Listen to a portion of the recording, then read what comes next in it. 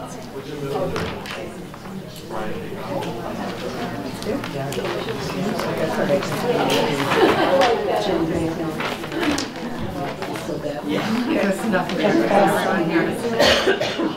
evening and welcome to the Easton School Committee meeting of Thursday, February 13th, 2020.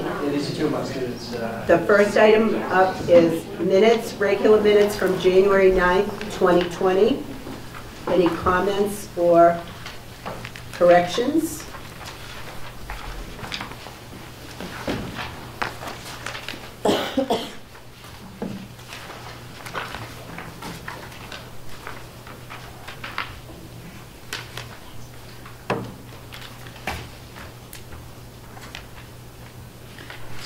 No? Yeah, Caroline and I don't vote on these because we weren't here, right? You can you can still vote. Okay. Okay. You can say comment too. Okay, yeah, no, I had no comments. It's all about trust. Do I have a Everything- everything motion? good. So moved. Second. All those in favor? Thank you. And our second minutes are from January 24th, 2020. Any comments or corrections, please? Oh, I, I did have one small, where did one go? There she is. Um, It's a, under the second page, under review of organization facilities use. Mrs. O'Neill suggested having a cap on the number of hours. Um, It's actually a cap on the number of hours for the established fee, and then with the option to charge more for additional hours, right? I mean, that was what I suggested in terms of the fees. Yes, yes. So it's not just a, ca- you know, it's not just an outright cap, it's just a cap on the number of hours for the established fee, and then with the option of charging for additional hours. Yeah.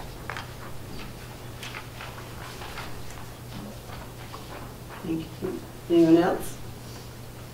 Okay, do I have a motion to accept these minutes? So moved. Second, do I have a second? Second, All those in favor? Thank you. with the change. With, with the change, yes. Scheduled payments is going around the table.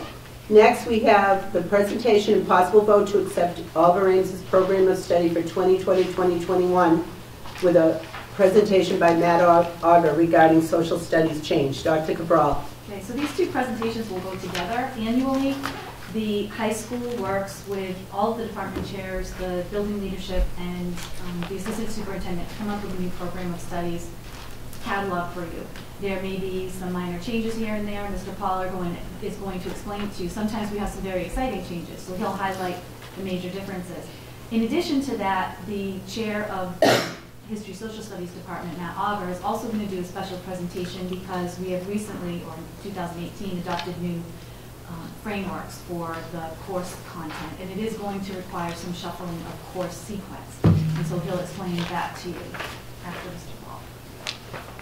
Paul. You're making a presentation, No, I'll start, Matt's gonna follow, and he has a, a video presentation. so we you want us to stay here? Right there. Okay, 'Cause I thank think you you. have most of the documentation in front of you. Okay, thank you. Um, By way of explanation, there are um, a couple of things that I wanted to highlight for not only you, but for the audience at home, and that is the work that we've been doing in guidance and uh, administration, looking at the college and career connections component to our program of studies and trying to take a look at the fast-paced world that our students are growing up in, the, the work world, and trying to find ways to connect what they're studying, what their interests are, what the clubs are that we have in our school, and link them to some of the clusters of careers that exist in our world. We use the clusters, there are 16 of them, that we use in Naviance, which is our software management package for our students. Those 16 career clusters, and they're for the audience, because they don't have it in front of them, are agricultural, food and natural resources, architecture and, arch- architecture and construction, arts, audiovisual technology and communication, business administration and management, education and training, finance, government and public administration, health science, hospitality and tourism, human services, information technology, law, public safety, corrections and security, manufacturing, marketing, science, technology, engineering and mathematics, transportation, distribution, those pretty much cover just about every career possibility that, that exists currently. And, and what this booklet that we have um, that is available on our website, both as a standalone document and also is included in the program of studies for the families, is an ability for the students to look at those clusters in the center and then begin to take a look at the things that are offered at Olive Branch High School. Courses that would directly tie, if you had an interest in some of those careers, the the careers that would fall within each of those clusters. The college majors that students, if they're interested in that, would, should consider pursuing. And if I didn't say this, the clubs and activities that we have that they may have an interest in. So it's really trying to get the students and the families to start thinking about, you know, Wes, what are you interested in? And start to find that diagram that might help them take a look at different electives. Now, these courses that are listed as connected to it are above and beyond the standards that we have in math, science, history. And they're just, these are the, the- some of the courses that you would take above and beyond in some of those areas and in other elective fields as well. So we really feel as though that was the major piece of our work this past year and working on refining this, this concept of connecting what we do to some of the career pathways that exist. And um, I'm very proud of the work that the, the team did. I also want to give credit to Sue Mancus, uh, excuse me, Sue Sweeney and um, Kristen Shea, who worked with me and my limited art experience and marketing experience and were able to put together the um, Adobe workshop that uh, produced this document for you. Um, So it's a separate, it's different than Google Docs. Um, was able- We were able to merge the two for our program studies and for the families. So we're excited about that. We've already sent a letter home talking about this to families. We've had a number of people call the guidance office asking, you know, where they could get, because the program studies hasn't been approved yet. Um, So we did put the, the the standalone booklet on the website for parents to begin the process. We've got some good feedback on that. With regard to the changes in the program of studies, Matt has a lot more to, to discuss with history. I just want to let you know about a couple of changes. The first is um, show choir has been dropped, and I actually have, Kristen, will give you this. This is a summary sheet of the changes. Um, We're dropping the core show choir. This came about last year in meeting with Rob Wheeler and looking at the program studies and taking a look at- our ensemble groups and the fact that show choir students um, had a course, but we didn't have a course for chamber orchestra, we didn't have a course for the jazz band, and we felt as though from an equity perspective, that while we were going through the process of making things streamlined, that was a course that our students could still participate in show choir after school, still take chorus choir during the course of the day, but didn't have that extra course, which was, our hope someday, we, we build our program up, that some of our, all of our ensembles would have such a course, but that was the reason that you see that drop there, so we didn't have a confusion when it came time to sign up for courses. The ads for this coming year are an additional health course, uh, excuse me, wellness course in advanced mindfulness and fitness. That's an elective for our juniors and seniors, which ties directly to the strategic plan when we're looking at all of the impacts that our students have in stressing out and trying to find ways to support them socially and emotionally. So this course deals with meditation, yoga, um, and different types of stress releases that they can incorporate into their daily lives. And if you look at some of the research I've been reading about what Fortune 500 countries, companies are looking for, they're looking for students who possess some of these skills to be able to self-regulate. So I think it's a, it's a good course for us to offer. And then the child development course we talked about last year. This is our long-term, this is the initial step in our long-term plan for the district. Um, But this course makes a lot of sense for a number of reasons. Our students um, used to have an option for taking this course at Olive Branch High School, um, but I don't think we defined it as clearly as we have today and with our career clusters. I think a lot of students would benefit from taking this child development course. If you're thinking about medicine, if you're thinking about nursing, if you're thinking about anything that deals with children, teaching, childcare, coaching. This child development course will really be able to, from guidance and from administration, tell the students it's an important piece of an elective that they could, they could take. The other piece is long-term, we're looking to try to find a way to incorporate a child care program within the district. And this course would be a course that would lead to the next section of their development, which would be an internship where they would actually work in the daycare if they've taken this course and met some of the requirements that we have. So this is the initial step. And we felt as though even though we don't have an idea exactly as to when and where the child care program will be, this course should be offered. If, if students sign up for it and there's enough, we will, we will run it. And uh, we're looking forward to that. So those are the changes directly to the program studies. Everything else was uh, pretty much, we we did a lot of changes in the last few years, and we're still sorting that out and, and working with it, so there wasn't a great appetite for adding anything addition this year. Um, We do continue to take a look at what students are asking for and what their potential interests are, and if we get something that is overwhelming with, you know, an interest, that's something we need to look at. Thank you. There Does are, I'm sorry. Does anyone have any questions? I I do. No, go ahead. So, um, on show choir, so I noticed this is on page fifty-eight. So, What there, page? Fifty-eight. page fifty-eight. So I noticed that there are some of the extracurricular music activities listed. Those are listed just to show what, what exists within the department, Okay, so I see but you they're not have. courses. Right, but I see you've marching band, jazz ensemble, show choir, pit band, but not show choir, musical theater. Is there a reason that these were selected for inclusion, but some of the other extracurriculars that the music department offers are not included? That's a really good question. I would have to, I'd have to get back to you on that. Okay, Um, I don't have, an- I don't have a- a solid answer for you at this moment. That's kind of, I hate to say it, but that's been like that for so long okay, that it may be a situation where the music department and I have just overlooked it. okay, Um, But certainly there's no, there's no reason for not listing all the ensembles. okay.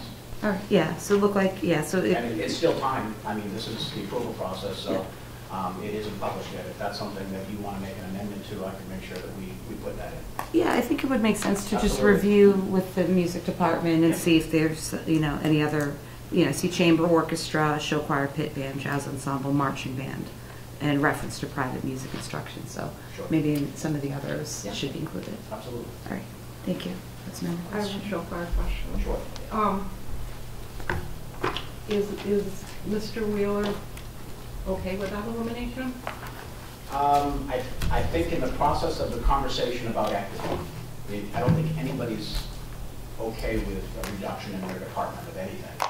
But I think in the conversation about the equity, the ensemble groups, that that was something that we, we agreed that if we truly don't have a chamber orchestra course and we don't have a course for those vibrant groups, and we, we have a vibrant show choir, but we also have that course, and the students can still participate like they do in chamber and they do in jazz band, they can still participate in, in show choir. At this point in time, it made sense to not have it in program studies and make it confusing and keep it equitable. That was the conversation we had last year. That- To say he's a, was approved, he, he was happy with the idea, um, I don't think he was thrilled that we were reducing the- that, but I think he understood. So that's the fairest answer I can give. Jackie? Yeah, I just have a couple, there are some um, courses in here that say dependent on budget increase for personnel and materials. Are those still kind of pending, or? Those were put in place a number of years ago Okay. as options if students signed up for it, and then we would, this would be a two-year process. So what would happen is if that course that has that listing had a subscription that was substantial enough that I went to Dr. Cabral and said, you know, we had 22 kids sign up for this Okay. course. We didn't put it in the budget for this year because we didn't have the numbers last year. Okay. But if next year I have 22 students who signed up for a course that said depending on budget, Yeah. it would need to go through the budget process and it would need to be funded. And the other question I just wanted to ask is, I know we're, and you and the other principals have been, we're all limited with our budget constraints, but if you could add any, say, math or science or computer courses, are there certain ones that you kind of have on tap that if you get funding that you would want to add in the future? We, we have talked about in science, looking at a engineering course. Okay. Um, We have talked about in math, um, some additional electives. Uh-huh. Um, Nothing really at the addition to electives, but at this point, any elective that we were adding would probably be in computer science. Yeah. um, And some level of programming, and Okay. really at the, the beginning stages of that Okay. in the last two years. So, Okay. and we're doing well, we have an AP course that's doing well in that Oh, area. good, okay. Um, So I think we're, we're in good shape. We, we will potentially get to that point where there's going to be a need for juniors and seniors to have another elective in computer science Okay, as an option. all right, thank you. Dr. Cabral? That's not a question, just a couple of comments. I know that the group doesn't necessarily have a visual, and there's no way you can read it, but I'm super proud of the work that all of them have done on this, and I think it's very important to really, not that your explanation wasn't clear, but just to sort of get an idea of the visual, I would encourage you to take a look at this online. Uh, So this is an example of uh, business administration and management is the core area. And then the four pillars around it explain Oliver Ames courses that are related to the field, related college majors, clubs and organizations, and career opportunities. You can imagine how helpful that is to a student who's trying to navigate their interests. To just look at a list of, in our guidance department is wonderful at providing this guidance, but to have this level of detail for what we already provide, we already have so many wonderful and robust programs here, including our extracurriculars and our clubs, that to have them thoughtfully sit down and process it in a way that they can help students encourage them to pursue the fields and areas that are of most interest to them, and help them really connect that to a way that they can advance their study and enter a career field that is in in line with their interests and what they love to do.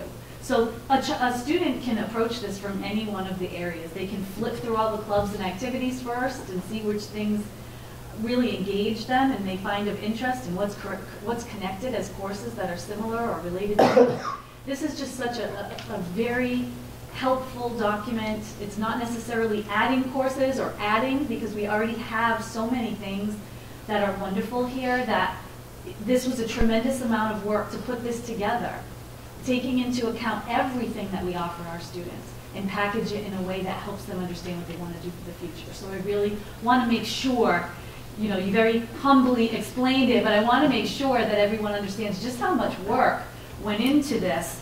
Um, in terms of the programs of, program of studies, um, I understand you, you had explained the equity issue before. I understand it. Of course, nobody wants to lose courses in any area, but it makes sense. In terms of adding, uh, they also make sense. Advanced mindful fitness. How many times have we talked about the social emotional needs of students? And we're in completely reactive mode in helping kids once they've experienced difficulties.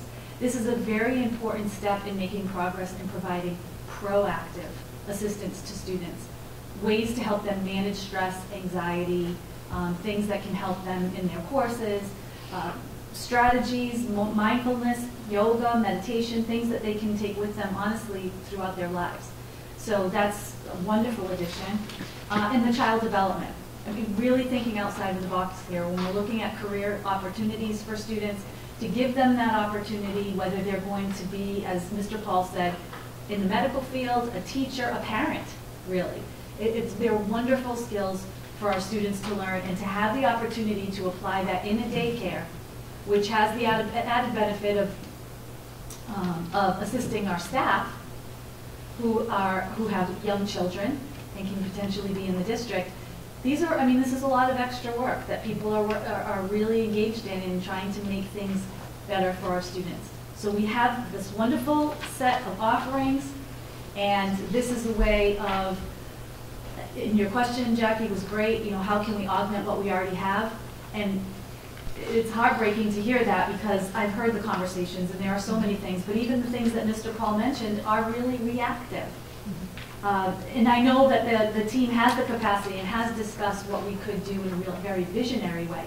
But bringing in computer science, our media courses, we don't offer many of them because we have to turn students away. That's an area that's highly um, sought after that we just don't, but that's a 21st century skill with, with uh, technology. So, you know, even the engin- engineering, in the, in the, in the age of STEAM and STEM, and we don't have engineering courses for our students, um, you know, more math electives, these are things we really should be providing our kids.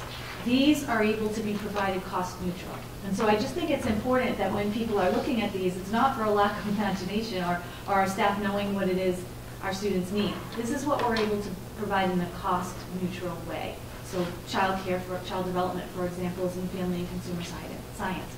So we offer, we cut the course that we have in that area and we offer this instead.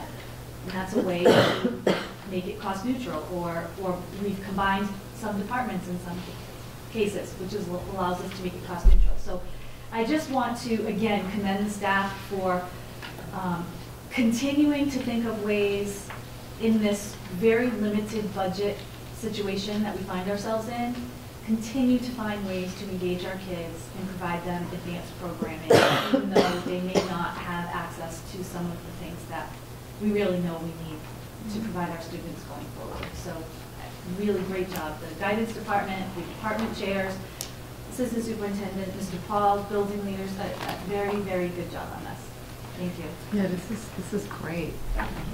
But Nancy, if I could just say in a few short words what Liz just said, this is a massive I really was blown away by it. I was actually um, also noticing that you had so much crossover among the various areas, but it makes perfect sense. I mean, to add Spanish to every, you know, construction and to every other, you know, things, I really love the thought that went into this. A lot of deep thinking there. Some great department head work. Yeah.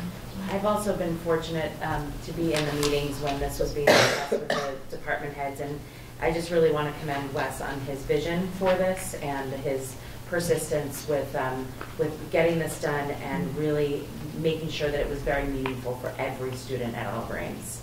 So, thank you. I have to say, this was, I know we've been talking about this for several months. This is much more robust than I had imagined. And I have two kids who will be going through course selection for next year, and this will be extremely helpful. So thank you to everybody who worked on this. It's awesome. Thank you. Do you want us to vote on this program of studies and then have Matt present, or do you want Matt to present and then vote? You can do, you can vote first. Okay. Are there any other comments or questions about Mr. Paul's presentation? Okay, do I have a motion? So do we want to accept it as or do we want to, Say it again. do we want to accept it as is, or do we want to wait for some feedback on the Um, co-curriculars okay. music? Could you accept it with the amendments to? That you're gonna add That I'm them. gonna Yeah, add an yeah, additional yeah. work with Mr. Wheeler? Is that okay with I'd you? be comfortable doing that. So you made that motion. Okay, I made that Do I have a motion. second? Second. Okay, all those in favor? Thank you very much. Thank you. Matt, do you want us to go up? Nancy, What? Oh, I'm sorry. Four to one. Sorry. Got that? Thank you. Do you want us to, you're making a presentation, Yeah. I- so we'll go up here? Sure. Okay. Sorry. I didn't see it here. I was looking.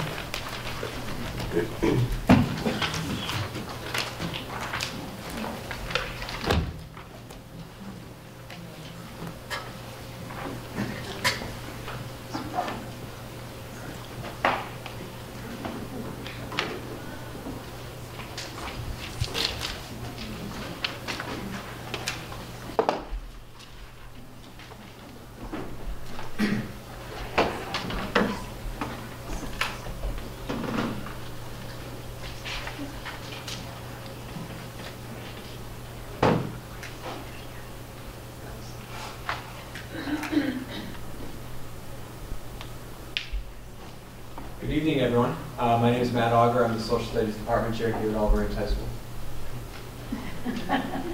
We got lost. Um, I'm here to talk about the new state frameworks for social studies and history. Um, So back in June of 2018, the Department of Elementary and Secondary Education approved new K-12 history and social studies standards. And the emphasis when they were writing these new standards was preparing young people to engage in civic life in a democracy. And one of the big cornerstones of this new change was a statewide eighth grade civics course. So across the Commonwealth, students in eighth grade are now taking a full year of civics. So for us in Easton, what does that mean? Well, it changes a couple of things, and I'm going to hit on that in a moment because we don't currently offer a full year of civics in the eighth grade. Um, They also, when they wrote these, created standards of practice pre-K to 12, um, seven of them. So when students are taking our social studies courses at the middle and high school, when they're in social studies, when they're doing social studies from kindergarten all the way up, they're learning about how to demonstrate civic knowledge, skills, and dispositions. The goal here is for students to develop uh, questions and problem statements and conduct inquiries, organize information and data from multiple primary and secondary sources, analyze the purpose and point of view of each source, distinguishing fact from opinion, evaluating the credibility, accuracy, and relevancy of each source, arguing, explaining conclusions, using reasoning and evidence, and determining next steps to take informed action as appropriate. One of the other things that's hap- one of the other things that happened in addition to the new frameworks is the Massachusetts State Legislature passed a bill in which all students in grade eight and then again in high school are participating in an action civics project. So that's in addition to the changes to the frameworks. And you're gonna have an opportunity to see what that might look like when some of our seniors present about their action civics project in a few moments. So what does this mean for us here in Easton? Well, in order to accommodate this new change at the eighth grade level, we have to add an eighth grade civics course. Um, as you may or may not know, currently in eighth grade, we do world history. We do from the fall of the Roman Empire through the Enlightenment. So it's a big shift for us here to move that eighth grade course. Um, in addition, we have always separated early man to follow Rome and geography as two separate courses. So as you see here, um, currently we're in the 1920 school year, so we've done ancient civ in grade six, which is you know early man to follow Rome, and then in grade seven do geography, world geography. Those two courses have been kind of combined as a hybrid by the state into a world geography and cultures in which they've broken it up into seven regions. And so grade six and seven will be a two-year course hitting on all of those seven regions. And grade eight will be a full year of civics.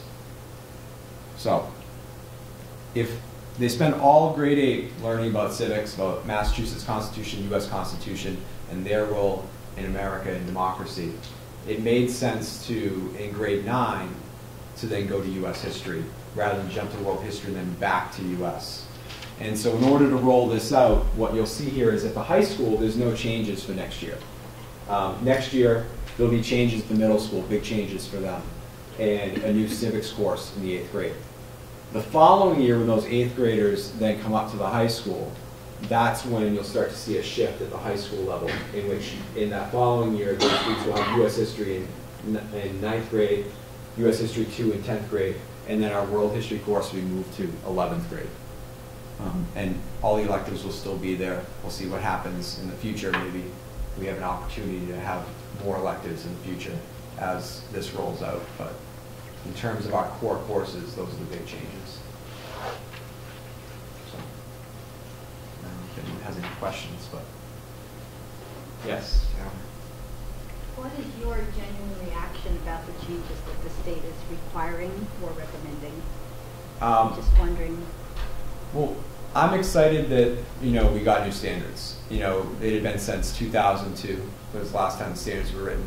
Um, me, you know, I, and I think all educators and, you know, a lot of us feel like civics is important. And the fact that they're requiring civics across eighth grade, across the Commonwealth, I think is a healthy thing for our schools and our democracy, uh, for students to understand where, what their role is as a citizen. Um, one of the components of that eighth grade civics course is media literacy and evaluating sources, evaluating opinion from fact, and looking at not just taking something as is at face value, but questioning things and looking for um, verification, looking at what is reliable and what's not reliable in terms of sourcing. Um, so they learn about Massachusetts government, they learn about their local town government, they'll learn, learn about the federal government, um, and where they fit in the big picture. So I think that's a good thing. I think that's great. Now, there's been so much um, discussion about the importance of civics and how it's been missing for so, for decades, whereas it was an important part of curriculum years ago.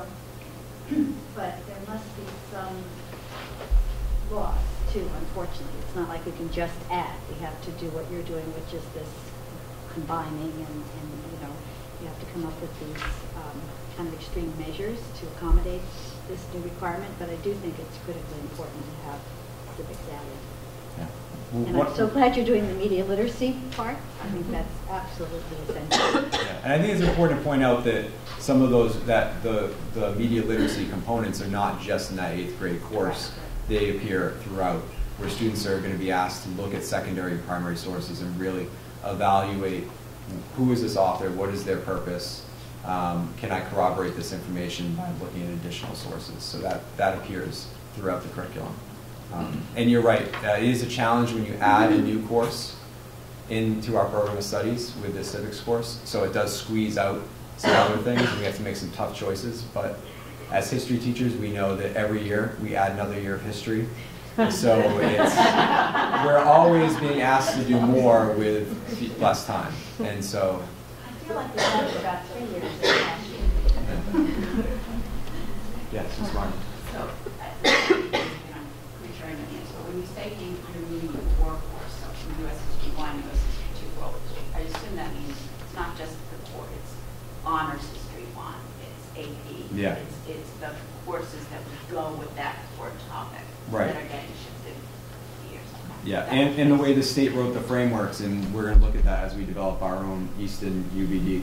Um, the split for US history has traditionally been around Reconstruction, and they've shifted that, um, that to World War One. And so there's, there's a shift there in the hopes that more of the contemporary history has a chance to get some significant coverage, so.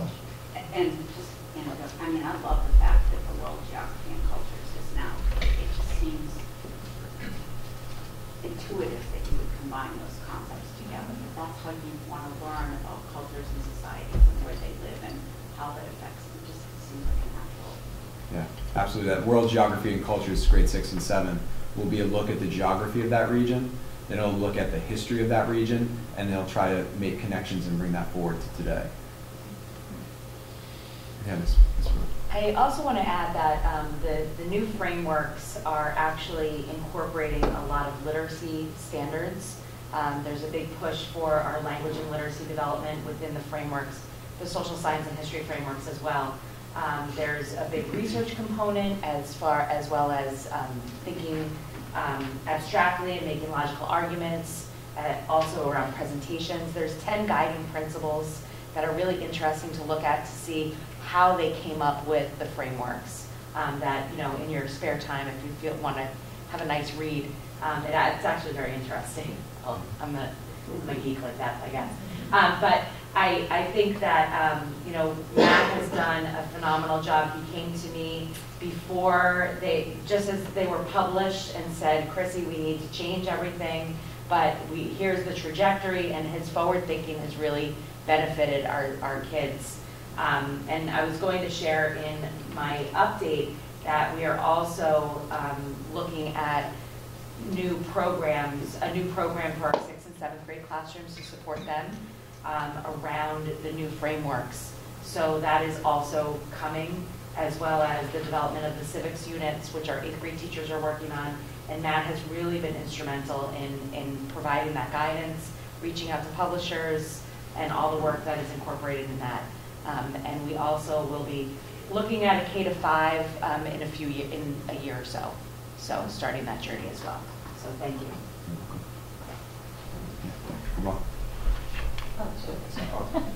Um, So I also want to add sort of an answer to Caroline's question.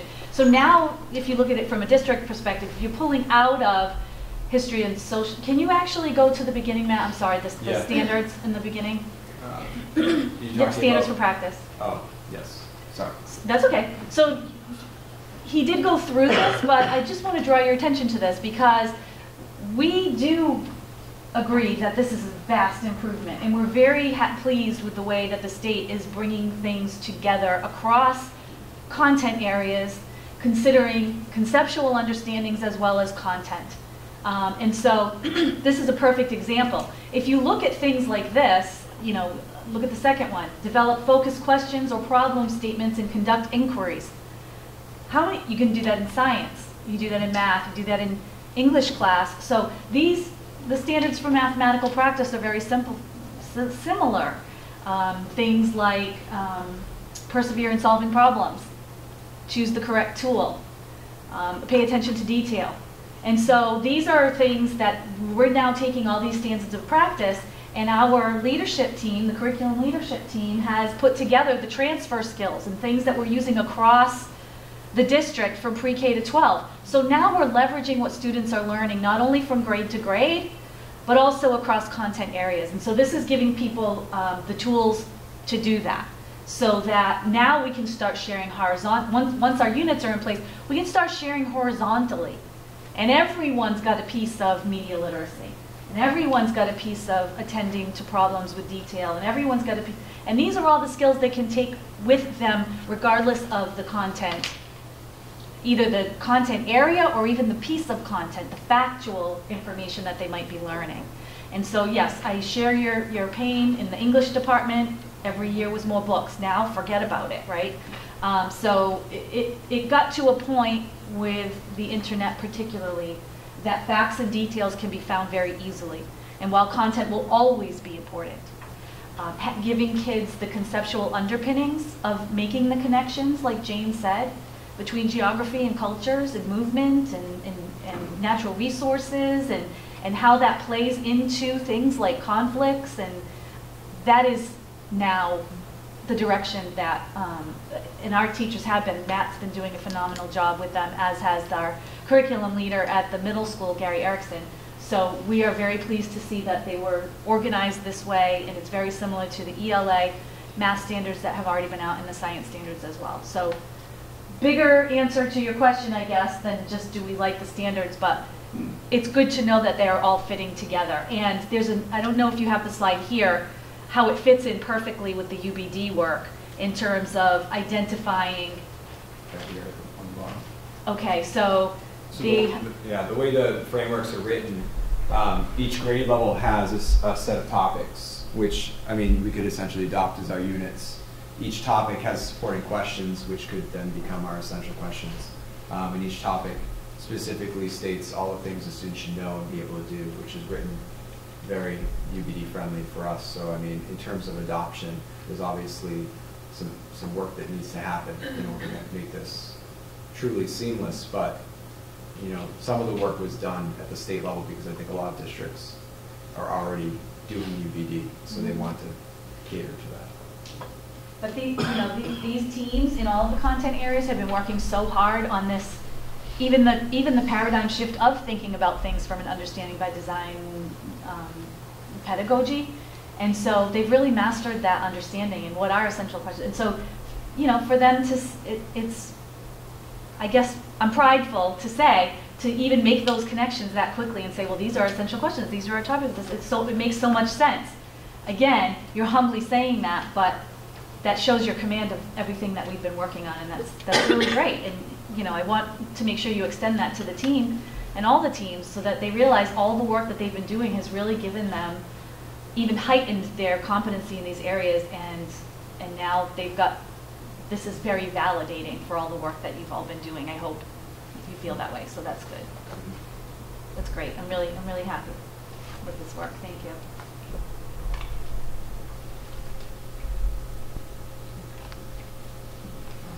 Thank you. Thank you.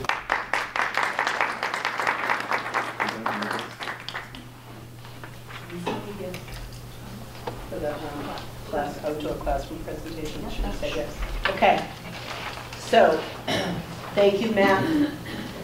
The next item on the agenda is to, uh, possible vote to approve outdoor classrooms presented by OA Social Studies teacher and law class. Dr.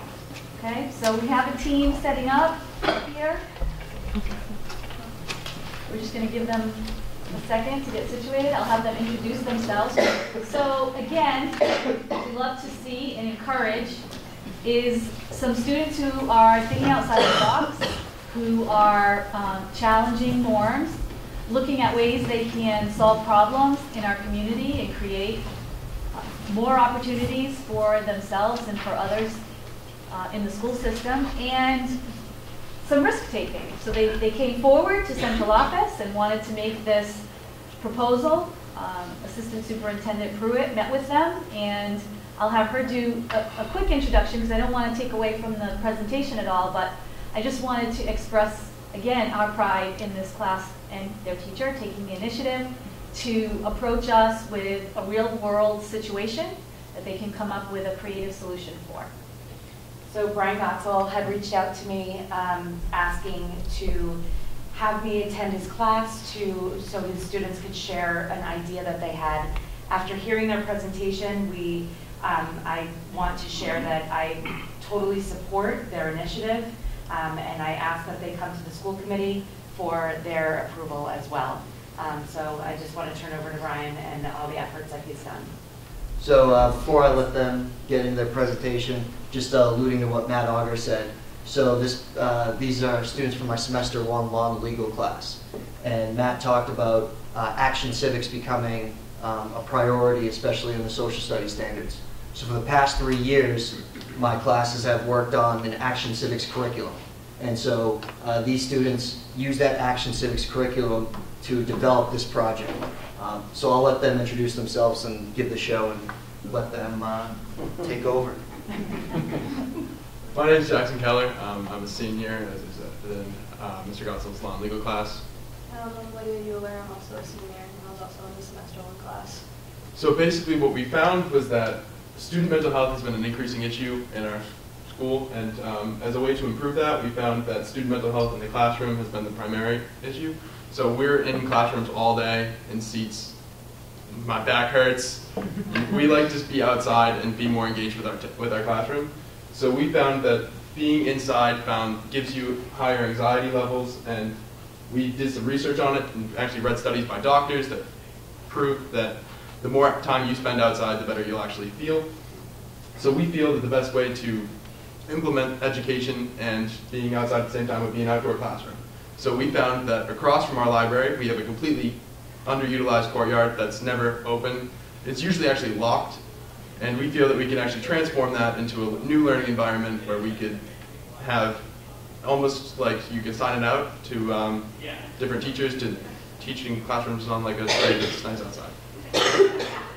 So um, we mainly reached this idea whenever our class was divided if we wanted to deal with mental health or environmental issues. So some of the like things that we were talking about were like issues with littering and then like also like oh but some of the students that we know have are having increasing levels of depression and anxiety and they feel trapped. So we came together and we wanted to improve mental health through nature and we looked at studies and whenever um, schools implemented outdoor classrooms, they saw less referrals and grades increase as well. And as a senior, I can also just say for myself that the more time you spend in this routine, you start to become less motivated and excited. And I feel like if you were to have an outdoor classroom, this is just breaking that harsh routine that you're always in and that you're showing up here every day and you're gonna sit in this room and you're gonna learn something. Like this will really broaden our horizons and our unique learning skills and like what we can do to improve student mental health and our emotional capacity and what we can do as a community, also as a school.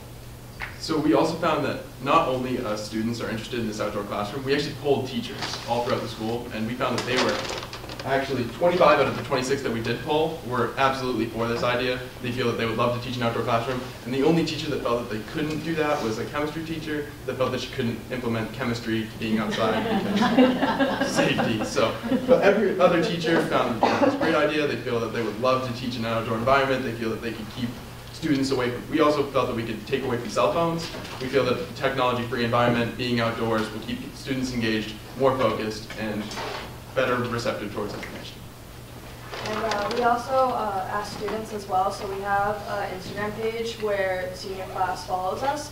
And so we made a poll with like, would you like the idea of an outdoor classroom? And out of 100 students, 80 um, students re- responded positively to the idea of having an outdoor classroom. And they were okay with no phones since they want to be present whenever they are going to be learning outside.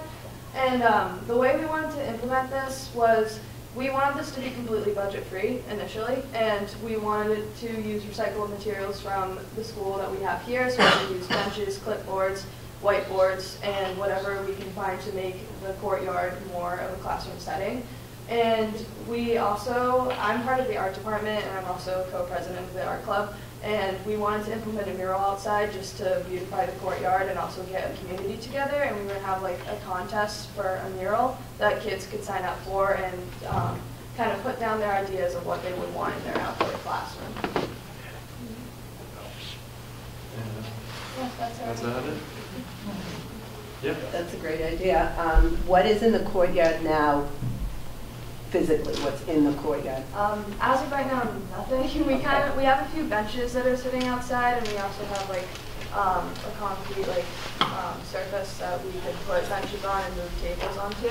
Um, we also have um, we have like plants and nature and stuff out there, but we wanted to encourage maybe like biology classes or just like students for fun if they wanted to like plant their own gardens there, or like even the students could do it as volunteer work. So we could like kind of improve the landscape just in general. Any questions? Anyone have questions?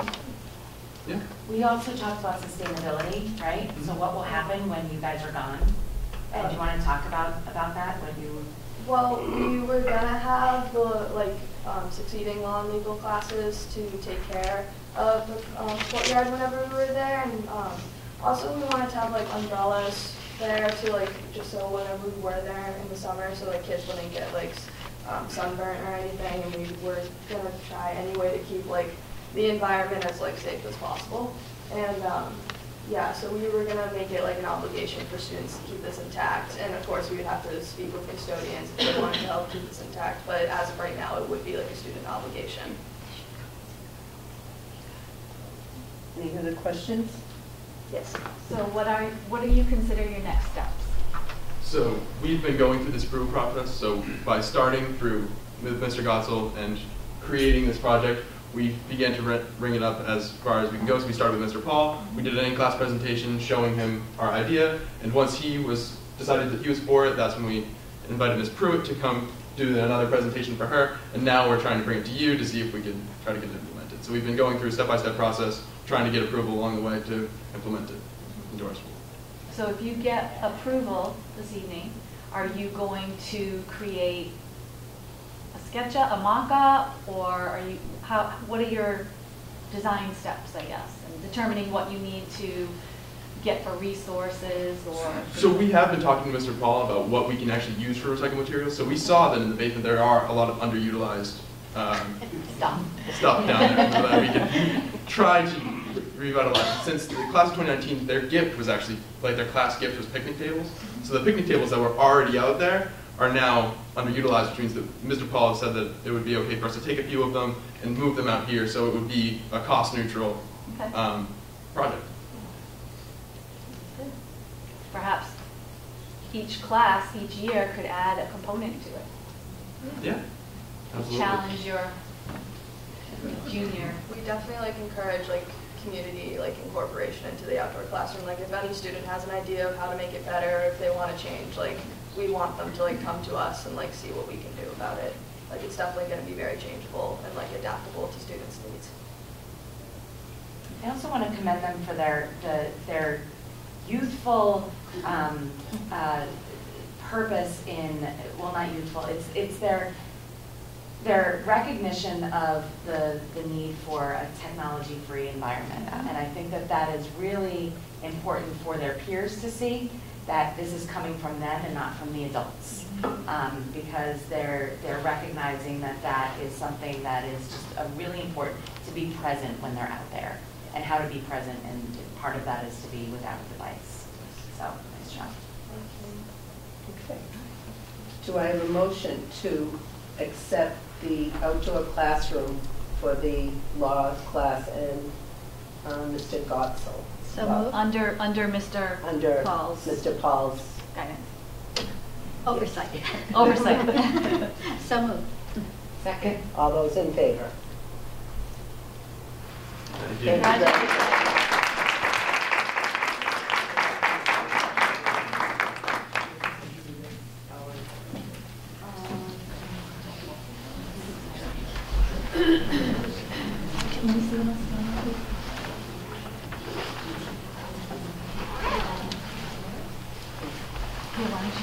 much.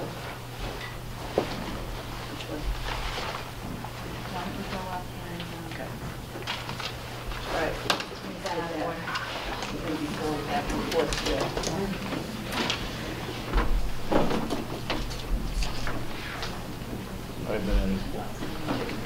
You? What a nice winter. No snow. Well, well, Get the brains cranking up in March, spring. So I need to make a motion to change the order. Okay, I'm going to make a motion that we bring item number nine up right now because we're going to be starting our presentations for the school meeting at 7:30. So um, would we uh, make a motion to bring number nine up? Second. All those in favor? Okay. Uh, This is personnel retirements, Dr. Cabral. Thank you. So, I'm not sure if you have them in the same order that I do, so. We have five retirements this evening. Tis the season. Um, We have some, a lot of experience going out the door at the end of the year and even sooner. So I'd like to go through the five of them. The first is Jane Demling. Jane has been with the district for 15 years. She's worked for the Easton Public Schools in food, food service at Richardson Olmsted. She retired on January 31st, so she retired shortly after her notice. So she has already retired, and I certainly congratulate her mm-hmm. on that. I think you have a letter from her? Yes. Do you want me to, do I read? Yes. Okay. I am writing to inform you that January 31st, 2020 will be my last day as I will be retiring. I really enjoyed working for Richardson Olmst- Olmsted and all of my co-workers. My husband and I have some health issues and we have to take care of, therefore I think, feel it's time to retire. Thank you again for the opportunity of working for this company. Is, is Jane here? There's a lot of people here. Okay. I invite them to come because I think it's very important for them to be recognized, even though we celebrate them. So congratulations to Jane. Second is Cheryl Corkum. She's been with the district for 34 years. She has also worked in the um, food service department, but at Moreau Hall. She plans to retire on April 24th, so she won't be finishing the school year, but she's not quite finished yet. So congratulations to Cheryl. Um, I work for food service at Moreau Hall. I'm going to retire. My retirement date is April 24th. That was her letter. That's, there you go. Okay, and so now we have um, three more long-term, this is getting more and more difficult as we go along here. Uh, Karen Lund has been with Easton for 34 years. She began her time in Easton as a pre-K teacher in the Project Early Preschool Classroom, which is now the Easton Public Schools Preschool, at Center School in 1995. She earned professional teaching status in 1998. She's been a mentor to many teachers after her. She's participated in several kindergarten orientations. She transferred to Center School as a first grade teacher in 2007. She remains there today. She plans to retire on July 3rd. Tremendous loss to the district. She's also uh, been an active representative of the union as well. Dear Dr. Cabral, members of the Easton School Committee, I'm writing to inform you of my intent to retire from the Easton Public Schools on July 3rd, 2020.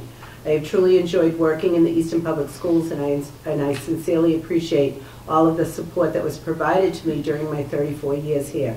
I began working in the single project early preschool classroom, now the Easton Public Schools preschool, at Center School in September of 1986. At that time, the program was run by the Project Spoke Collaborative.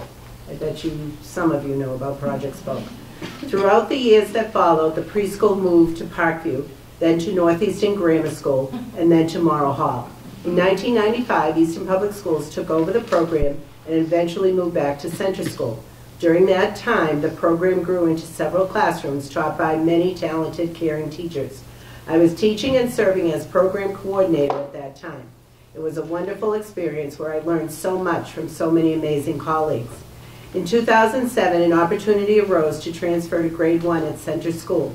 I was thrilled to be able to take on this challenge after teaching for 20 years in the preschool. I have loved every moment of teaching at this grade level, and again, I learned so much from the wonderful professionals that surrounded me. I consider myself so very fortunate to have spent almost my entire teaching career in the town of Easton. In the early years, as I was continually being moved from school to school, people would ask if I minded being uprooted every summer. My honest answer was no, because those moves afforded me the opportunity to work with so many more teachers, paraprofessionals, custodians and administrators than I would have ever been able to had I stayed in one building all of those years. As much as I have made so many friendships and learned so many new things from the incredible professionals that make up the Easton Public Schools staff, I have truly been blessed. Thank you so much for all the support that you have given me throughout my years in Easton. I have thoroughly enjoyed every moment, and I am looking forward to what the future will bring Karen Lunt. I made it through without crying, so that was good. Um, Karen's awesome, worked with her for many years. She is involved with the EEA, and uh, she's just a dynamite teacher in person. Anybody else? Like, she is definitely one of those teachers that you hear about. Parents are so excited when they, their child has been assigned to her, for, you know, beginning first grade. So um, it is a great loss to the district, certainly. I tried to entice her with a new building, she wasn't biting. But I can't blame her, I'm very happy for her. Uh, be reading in her classroom in a couple weeks, actually, again, and I'm looking forward to it. It's always a pleasure to walk into that very calm environment of her classroom. I was just going to add that I hope she leaves the pixie dust that she has, um, because she certainly does have pixie dust in her classroom when, um, whenever you enter, just the students are just so calm and engaged, and it's just a wonderful environment, so we will miss her deeply. Except, except for when they're waiting for the eggs to hatch. Oh, that's true. Yeah. It's kind of crazy.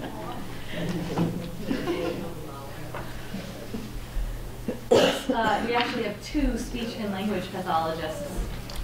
Joyce Greenwald has been with the district for 26 years. She began began her time in Easton as a speech and language pathologist. She earned her professional teaching status in 1997. She served as a mentor, and in 2000 she moved to Central School, where she remains today. She plans to retire on June 30th. Dear Dr. Cabral and members of the Easton School Committee, I am writing to inform you of my intent to retire from the Easton Public Schools on June 30th. Some years back, I was asked which job I would choose if I could choose any job. For me, it was an easy question to answer. This was the job for me. I found my work challenging and rewarding. It was a job that allowed for collaboration with so many talented and caring people. The children were the icing on the cake, each one special and unique. Thank you from the bottom of my heart for this opportunity. It's been a privilege working for the Easton Public Schools. I take with me wonderful memories of a great career. This was the job for me, Joyce Greenwald.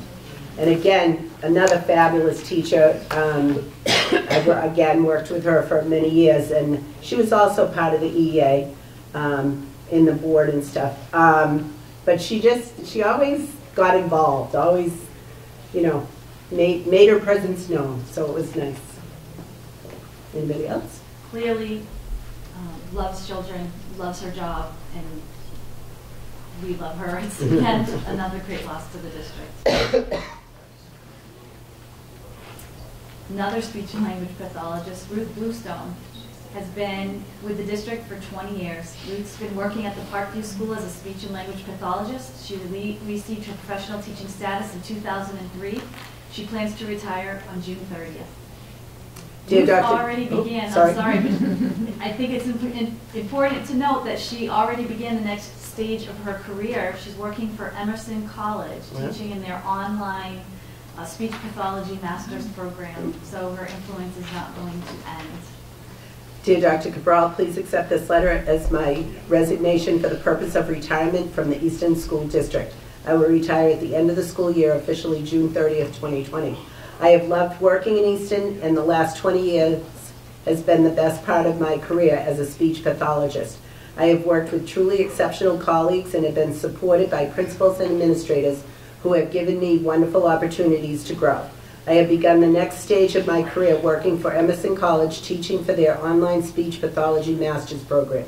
This position will allow me to train future speech pathologists across the country and use the knowledge I have gained over my years in Easton. It will also allow me to travel and visit my beloved South Africa, as well as my friends and family all over the world. I am sad that I will not have the opportunity to work at the new Easton Early Elementary School, but as an Easton resident, I will stay involved in the project. Ruth Bluestone. And I'm very happy to see that Ruth is here this evening.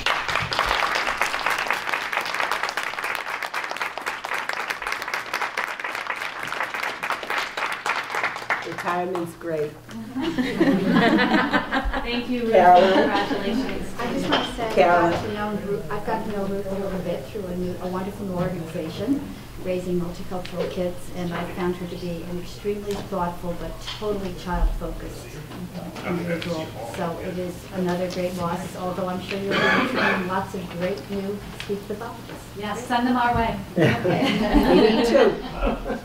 Um, Okay, add, we um, have, go I ahead. just want to add that um, uh, Mrs. Bluestone was part of the, um, the team for one of my kids when he was going through uh, support services at Parkview many years ago. She was um, incredibly helpful, um, very uh, creative and innovative, and even without, you know, a formal diagnosis at the time, was so willing to offer a lot of solutions that, that helped my child, and I know so many. And I also want to thank you for um, all the times over the years you've done workshops for the PAC and for the Special Ed PAC. It's been really valuable to the community. All right, I'm going to make a motion that we accept Ruth Bluestone, Joyce Greenwald, Karen Lund, Cheryl Corkum, and Jane Demling uh, retirement letters and accept with, do I say with regret? Absolutely. Accept with regret. That's the motion. Second. All those in favor? And we wish every one of these people the best of luck. Absolutely. All right, it is 7:30. So at this time, we do have, I don't know exactly how many, well, I can count them up, but we have a lot of presentations. You will have three to five minutes to come up and present. We'll go sit out there. Um, And then we'll just have quick questions and answers afterwards um, for anybody that wants to, you know, to say anything. Um, We've got to keep it tight, though, because we do have a lot of people. Um, And the first one that's going to be up is the uh, McKenna's Blanche Ames.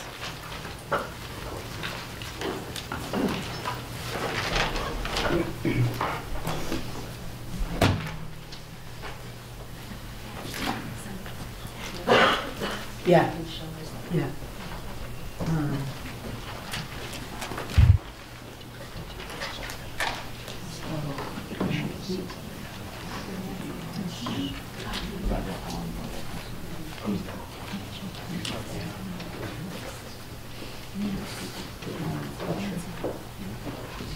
Oh, thank you.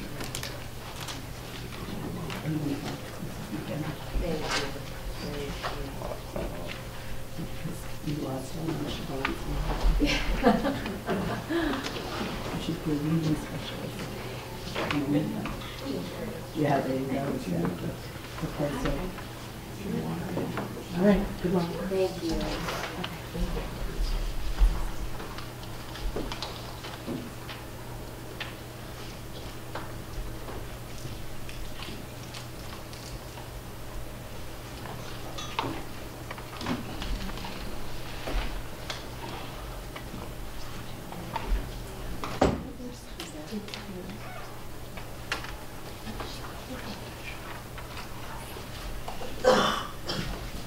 All right, hello and good evening. My name is Siobhan McKenna, um, and I've been an Easton resident for 23 years. I graduated from Oliver Ames High School in 2015 and Stonehill College in 2019.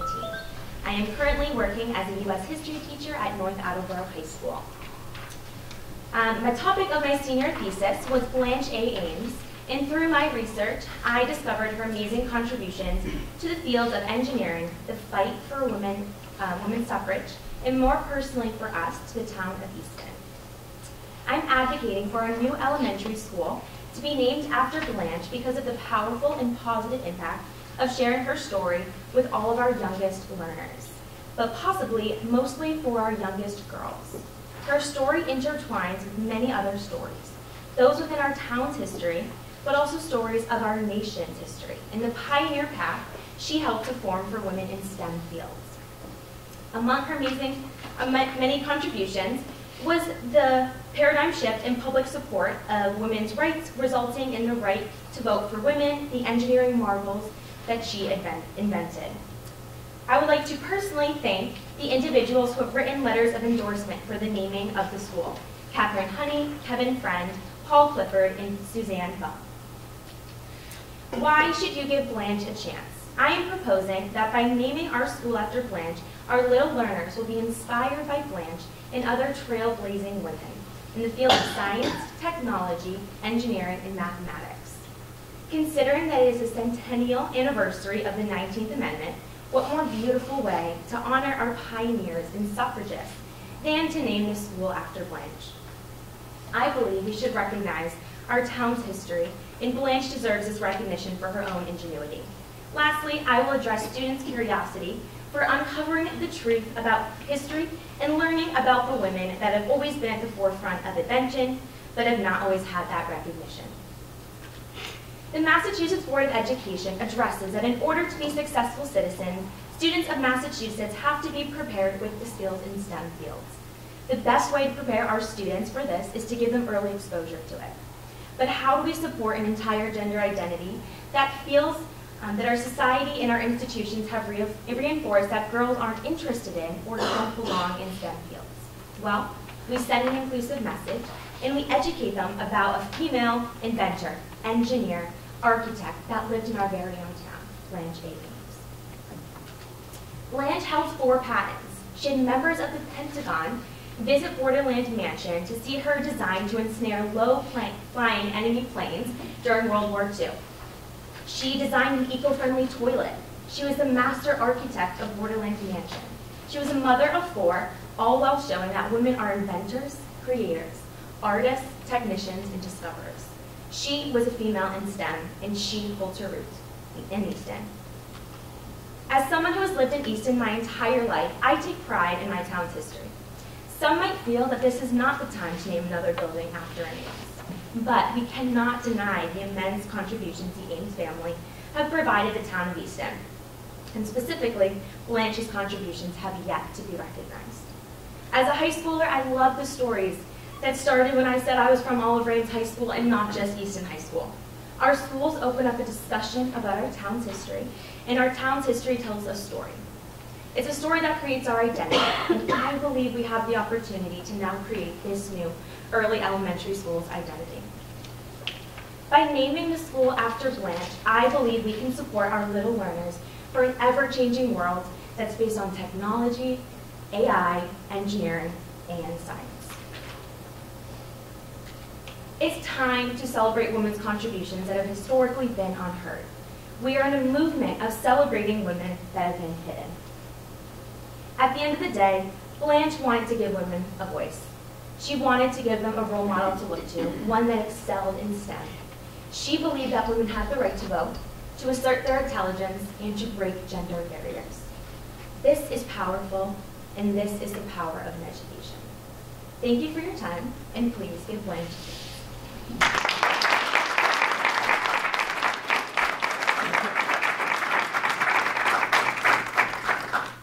Uh, Questions?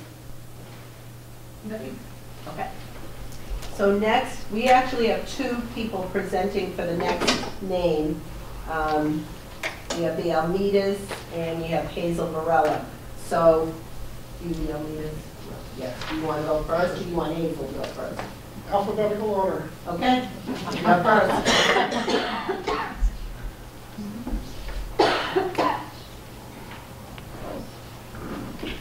Do you need the um, computer? No. I'm a little hard of hearing, so if you have any questions, you have to speak up. Uh, Thank you very much for having me. I'm a life member. My name, by the way, I'm sorry, is Don Almeida. I'll Get that straight. I'm a life member of the Friends of Borderland, a life member of the Natural Resources Trust, and a member of the Friends of the Library. I'm also a homeowner in the Ames Historic District where my house was built in 1831 on Main Street next to Queset Brook, which is now Langwater Pond.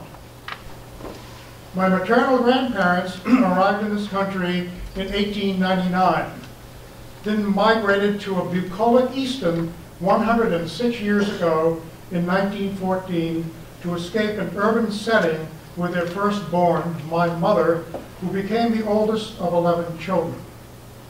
I was born in a house at 25 Center Street in North Easton, 79 years ago, within the shadow of the magnificent Ames family institutions of learning. the first Oliver Ames High School, the North Easton Grammar School, and the Ames Free Library. It was fairly common back then to be born in a house rather than a hospital, but not on a beautiful campus disguised as the center of a small town. My extended family, our friends, and everyone we knew in town had a wonderful story about Mrs. Frothingham, as she was called back then. Stories I could, could not only, stories that I not only heard, but personally experienced as a growing child. Stories that were always about children. And I include all of those townspeople who knew her, were touched by her, and have since passed away.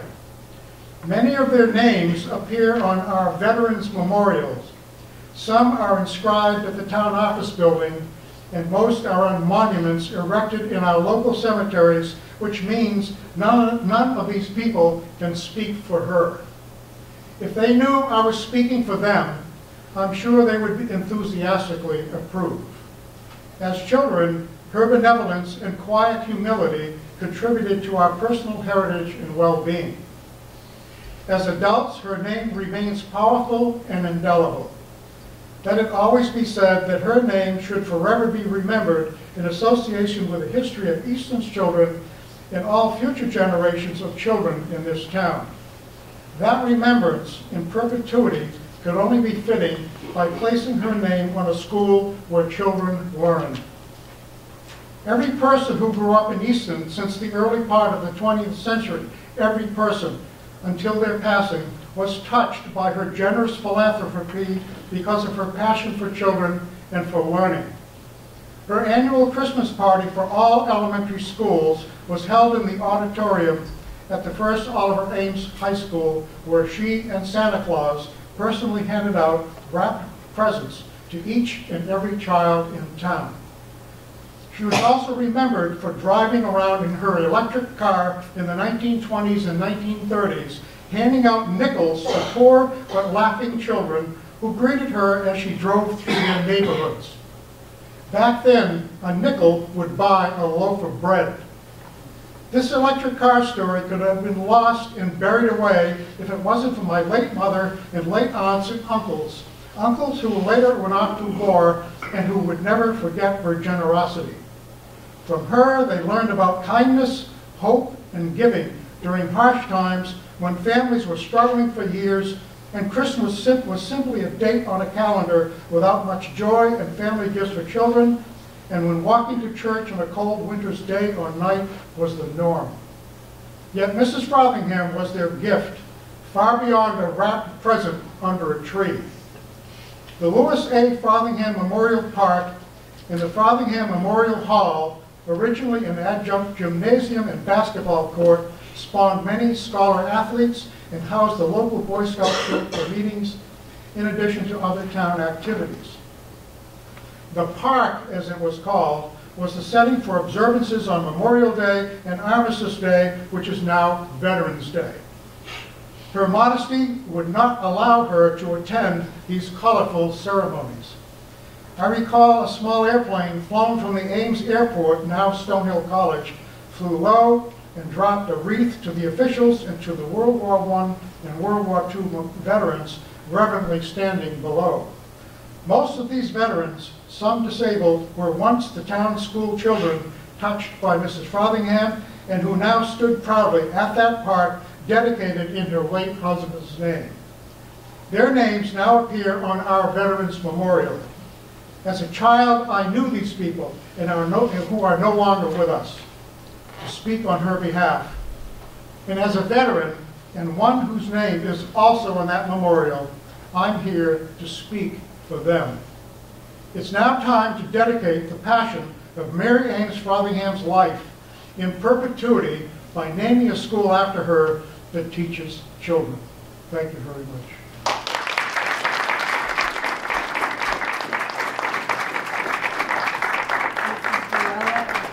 Mrs. Burrell? Okay. Are you ready? Yep. Do you want to use the computer? Does she? No? I'm going to repeat some of the things that the gentleman just said, because I would like to recommend the Guardian for Early Education Children in Easton for more than 40 years, Mary Ames Frothingham.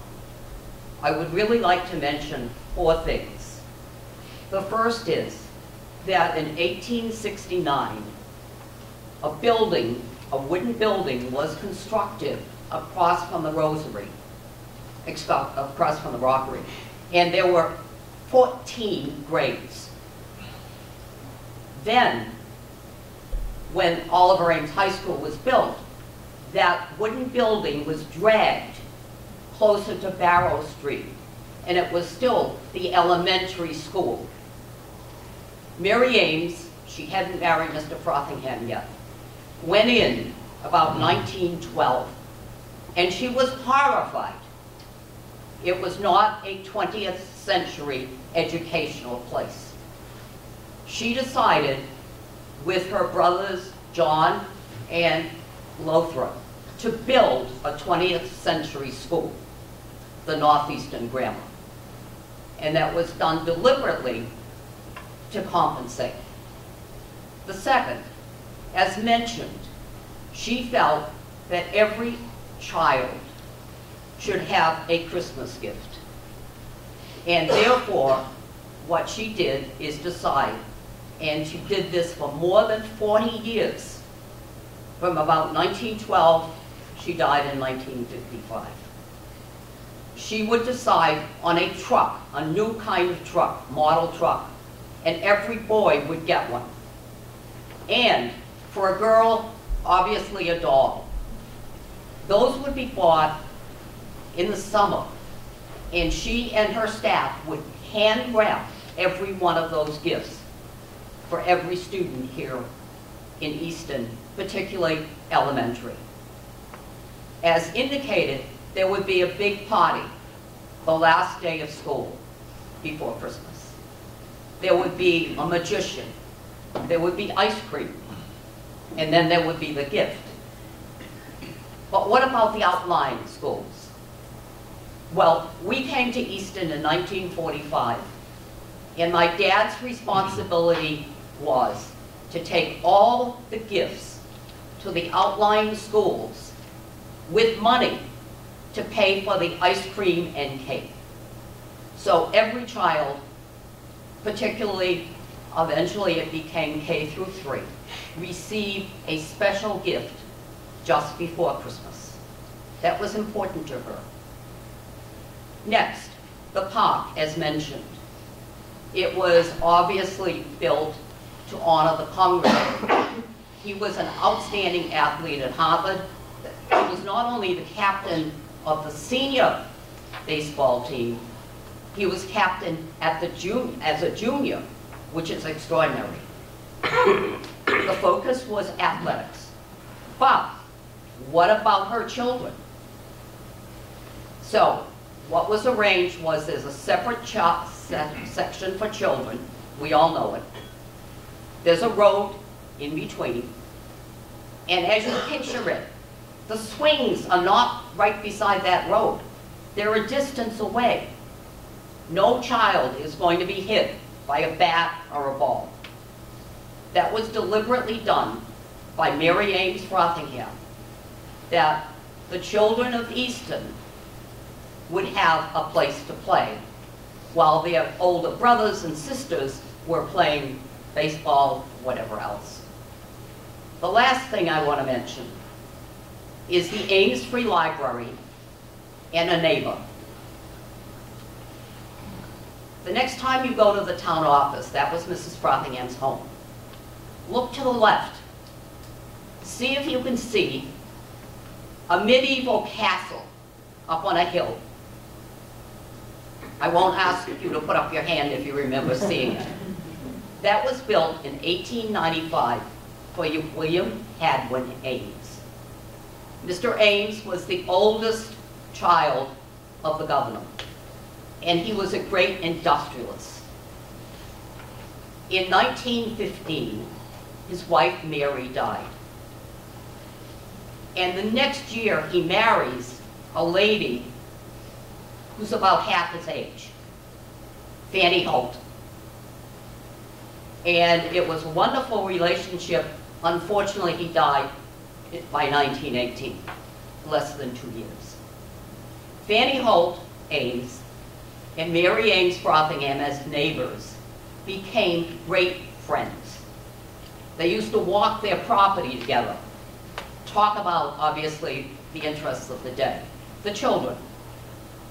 Neither had a child, but children were important. And in 1928, the congressman died. Mrs. Frothingham is dealing with, obviously, the death. She's working on the park. And she knows that soon she's going to be president of the Ames Free Library. Her brother Oliver is quite ill. And she had told Fanny Holt Ames, I don't know how many times, that her one concern at the library was lack of effective children's services. There were two shelves, if you can picture, on the main floor at that time, the circulation desk. And just to the left were two shelves with children's books. They had boxes and boxes in the cellar, and what they do is rotate on the two shelves. The classics would be rotated among the schools.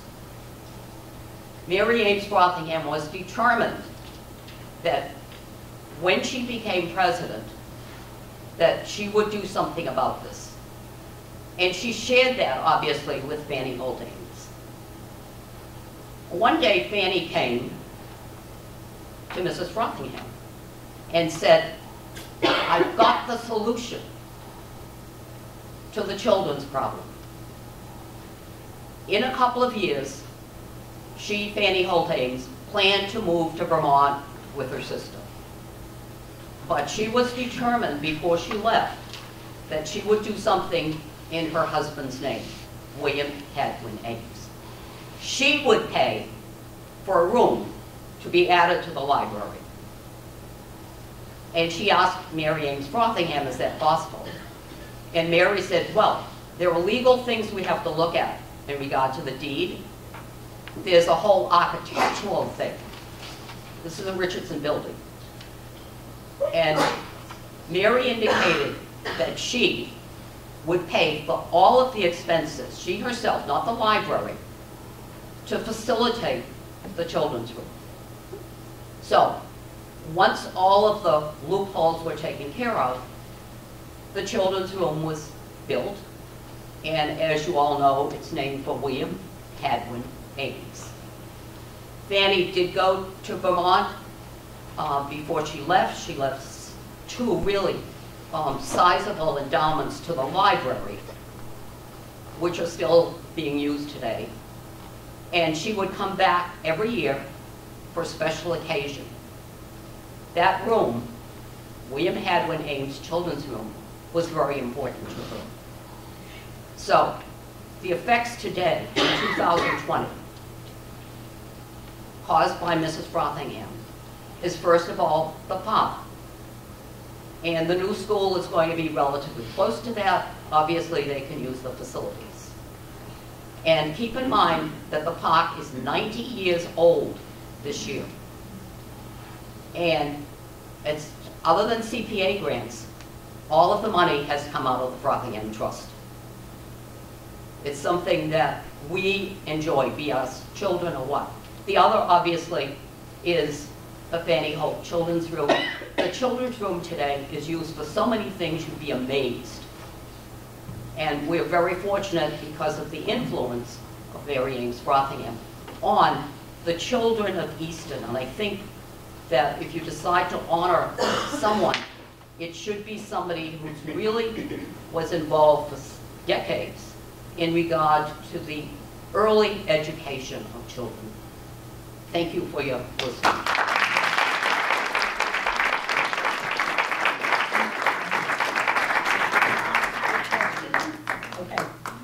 Mary Taraka, you are next. And your entourage. Are you going to use the computer? Okay.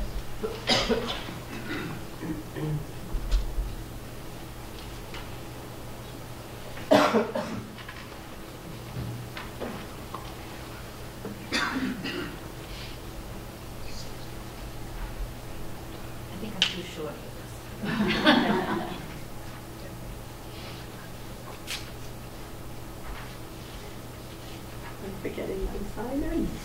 Sorry. Nobody's watching, Jeannie. MA, oh No pressure. no, no, MA first, before you ask. I like in every day of my life. You want some? No. You should not be nervous.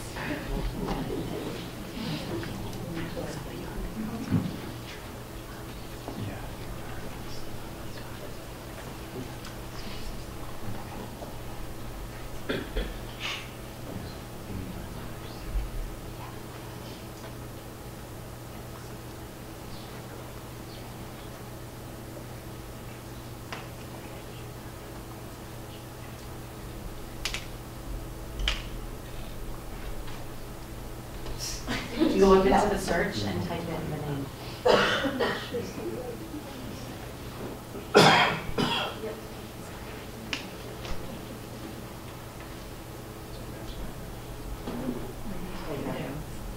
Thank you. Sorry.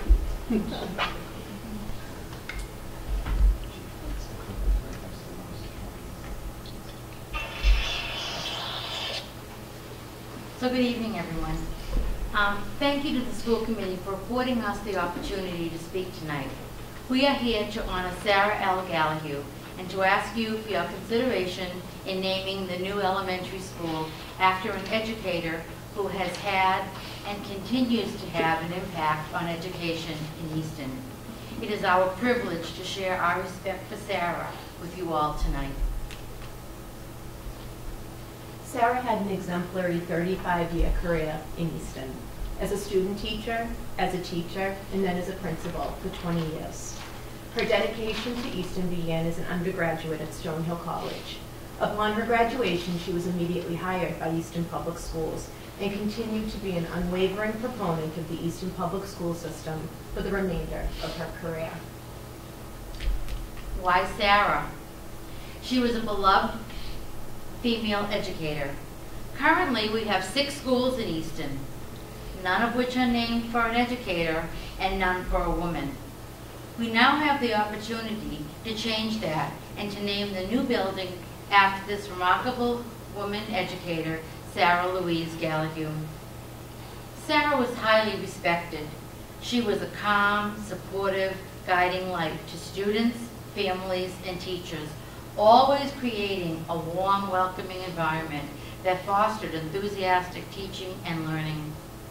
Most important was Sarah's advocacy for children's rights. Everything was done with children's best interest as a priority. She was devoted to ensuring academic excellence entwined with caring child development. Sarah's influence is timeless. She personifies the current core values of the Easton Public Schools. Safety and respect, communication and collaboration, leading by example, and continuous growth. I didn't have the honor to work in a building with Sarah as principal, but I consider myself so very fortunate to have worked with Sarah on the English Language Arts Committee. She was the co-chair of Stellar. And some of you remember this. Um, For two years, I worked with her to develop um, our English Language Act curriculum that came out in 1996. I'm not going to pass it around because I'm the only one still teaching. Um, She exemplified continuous growth, emphasizing that curriculum is a fluid document and a living document. I credit Sarah with my love of curriculum and for inspiring me to remain involved in the initiatives of the school system. Sarah was a model of integrity and respect for me and for so many other educators. She represents all of the Easton educators, past, present, and future, many of whom are here tonight or have, or have expressed their support through letters and emails, which we have for you. Now we would like to share with you a short clip from Sarah's retirement party in April 1997. Former Superintendent Dr. Bill Simmons is speaking to a group of over 350 attendees. Promise to be kind and gentle. I have some additional thoughts to share on a more serious note.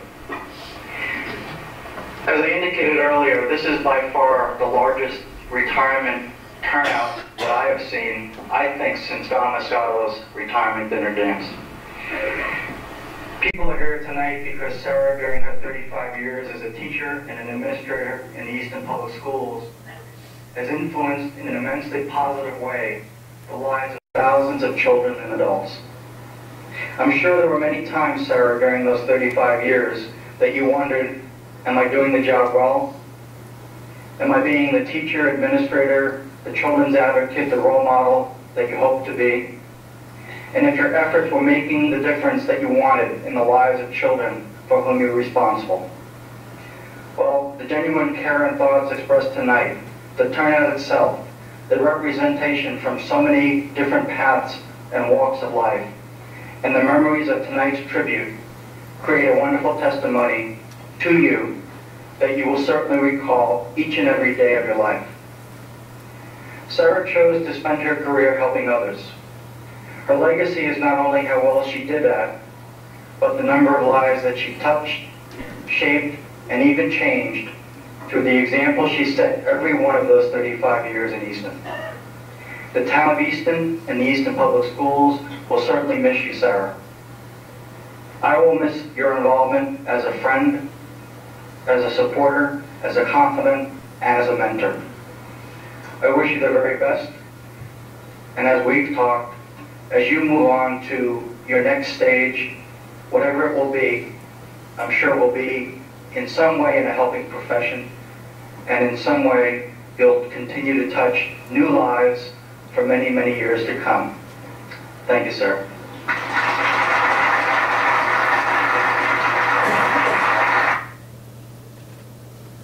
Please carefully consider naming the new elementary school to honor Sarah Gallagher, a dedicated woman who served our school system for 35 years with vigor and enthusiasm. Let us honor an unsung hero, a humble woman who rose to be both a direct influence on the lives of so many children and an inspiration to the working teachers who continue to silently and humbly invest their lives in our children and in our future. Although the school would have her name, her name represents all of us, all the members of the Easton Public Schools community. We, Sorry. What? Sorry. Um, we have a packet of additional information. I left it right in front of your spot, Nancy, Okay. for each member, for each of you. Um, it's mainly a collection of letters and emails from supporters. We hope that you were able to find the time to look through them, and we thank you for your consideration tonight. Thank you very much. Denise Pineda here? Denise? Okay. So Denise Pineda put in um, Susanna Ames Elementary, and I guess she couldn't be here tonight, and I don't have any other emails on that. Okay, next up is uh, Sharon Ateo. No, she's not here, okay. She's at home. She's what? She just had surgery, so she Oh. can't make it. Okay, I'll read her email in a minute, okay? I'll read her thing, thank you though. Um, Okay, is Bill Donahue here? Bill Donahue? No? Okay. Um, Nellie Brennan Hall. Right here. Okay? Do you need the First- computer? No, I Oh, don't. okay. Yeah, first of all, um, excuse my voice, I'm just getting over a cold. Um, but I do first want to thank all of my presenters. It's been really interesting to hear about these different times of Easton history, and I'm kind of taking this in a different direction in terms of historical representation. So, as you know, three of Easton schools are named after people connected to the Ames family. Governor Oliver Ames, Frederick Law Olmsted, and H.H. Richardson. The latter two, who were commissioned by the Ames family to produce public buildings and landscapes in an effort to clear the name of Oakes Ames, who had been involved in a national scandal. Often in Easton, we focus on the 19th century heyday, which saw the Ames family and the Ames Shovel Shop as putting Easton on the map. However, and that's okay to celebrate that. However, this celebration of wealthy white 19th century individuals has included a deeper history of Easton and its multicultural future. Therefore, I propose the name Metacomet Elementary School for our new school. For those of you who don't know, Metacomet was a great sachem or chief of the Wampanoag tribe.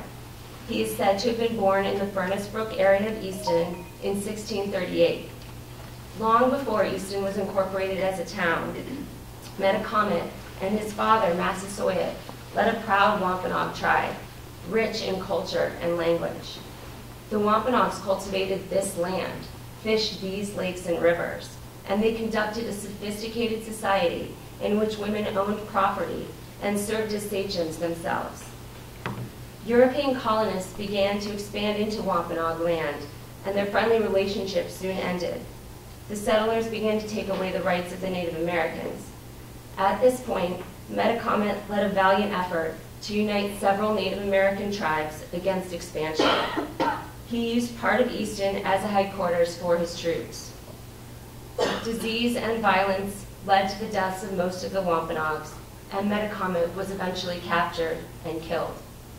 However, I propose this name here because I think it's important to remember Easton's whole history. I want Easton's youngest children to know that there was a vibrant culture and language a proud and intelligent people who lived here and thrived here. I want the new name of our school to recognize the native heritage and the indigenous land on which we now live. I want to say to our students that there was once a great sachem who was born here and who lived here. If we say, as a school district and a community, that we value multiculturalism and all heritages, let's make this clear with the name of our new school. Thanks.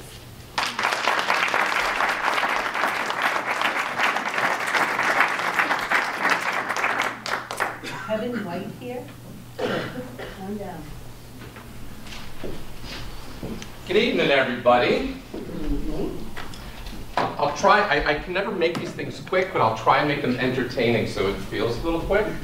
Um, You're on the clock. This process has been pretty amazing. I'm glad that the community has been involved. I've, I've been in the process of the design of this school, right? So when we brought the community in, it was fantastic to get all of that input. So I find this process to be pretty amazing too, that everybody's got these different perspectives. If you read online the, the conversations that are happening, you hear things like, eh, let's just call it Easton, right? Easton Elementary, and you go, great. And I say to myself, yeah, maybe. But that's an opportunity that's lost. And we do have an opportunity here. Is it the biggest one in the world? Does the world collapse if we don't take the most of it? No. But we have an opportunity here, right? To do something with the name of this school. And this is, this is a generational opportunity, right? We probably are not going to spend another 90 million for years. Maybe long after some of us are gone or some of us have moved on, right? So we have an opportunity here to create something that's incredibly lasting. Now with that opportunity, we can have probably four different priorities of how are we going to name this thing? What's it going to do? And one priority is typical. You've seen it happen here. It's happened in every, and they're all great examples. Let's honor someone. There's, there should be someone so apparent that we should give the designation of their name to this school. And that should exist, and that should be there. So sometimes that's the priority. We have someone we must name this after. Sometimes it's we must honor our history. And we've heard a lot about that. Amazing, amazing history we've heard from everyone, right?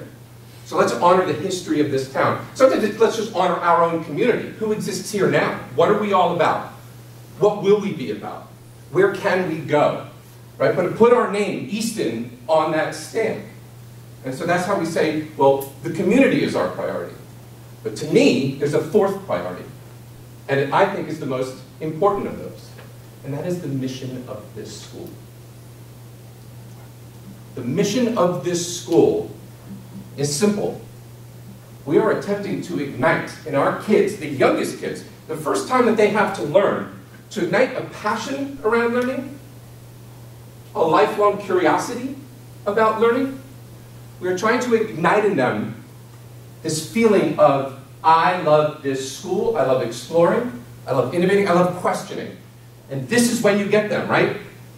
Kindergarten, first grade, second grade. You get them after that, might be even too late at that point to ignite that. So we have this opportunity and these four priorities. Okay? So I say to myself, if we were to name this, if we were to take the most advantage of this opportunity, we would do something that incorporates all four of those.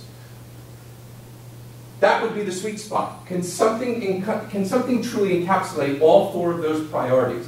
Now, quite honestly, and this is my opinion, so that's why I'm up here and giving this pitch, um, I personally think that the lowest priority is probably at this point, since nothing stands out, nothing is right in front of us, the honoring of someone as a priority, it's still there. We should speak to it. We should speak to people who came before.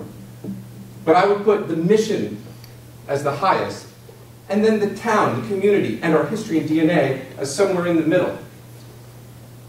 So I think about that. I think about those four priorities. The people, the genesis, the spark, right? Who, cre who created the Big Bang? Who started this town? We've learned there was a culture long before us, and everything that they ignited in a culture. And there was a second round of culture that came, and we have these prominent families like Ames and Frothingham, each who gave their own boost, right? Each who gave something and left a legacy to give energy to this town, put us on the map. And those are some of the people that we think of when we think, let's honor those people. And then what about our town's history? I think about the old forge, right? I think about Foundry Street. I think about manufacturing. I think about the grit and the sweat, the World War II, and even currently now that we build things, we make things here. Hammer to steel, right? We bang on it and we do it until it's right. And that's, I think, an Easton grit. I think it's, that's in our DNA. And I like that about us. And I like that about the town. That means something to us. I think if we were to speak to our community right now, what we think about this school has an opportunity to think, to, to, to coalesce everyone around this school. If you know the design, you know there's a community aspect built into it. It's meant to have a community center. It's meant to be used not just as an elementary school, but to be built and used by the community itself to bring it together, to ignite conversation, celebration, debate, right? Competition, performance, whatever we do in that school as a community afterwards, that's something we want to celebrate. But we also want to put Easton back on the map. We want to proclaim our pride. We want to say, Easton, and look at what we're producing here in Easton. Look at these kids from Easton. So I see that as an important part. But the mission is the most, to me, the most important. How do you make kids realize and understand the position they are in life, of learning and what this means, of curiosity and what this means? How do you let the teachers who show up every day to know it is their mission to light something in these kids that make them go, I am going to be curious for the rest of my life, and to send them on a trajectory, to shoot them on a path of success. The kids should be reminded every day when they walk in of that mission. The teachers should be reminded every day when they walk in of that mission. And the community should know every day, why did we spend this money on this school? What are we trying to do with it? So, what does all that? Right? What incorporates the, the, the history of the spark of the genesis, the Ames family, shovels. I think of the Transcontinental Railroad and, and, and shovel hitting rock across the entire country, right? And what happens when that, when that occurs? And, and the shovel works and the manufacturing, the foundry, the sparks, and the building, and all of this, right? I think of that history and of those people who created this, and I think of a word. And I think of manufacturing, and I think of sweat and toil and grit and determination, and I think of a word.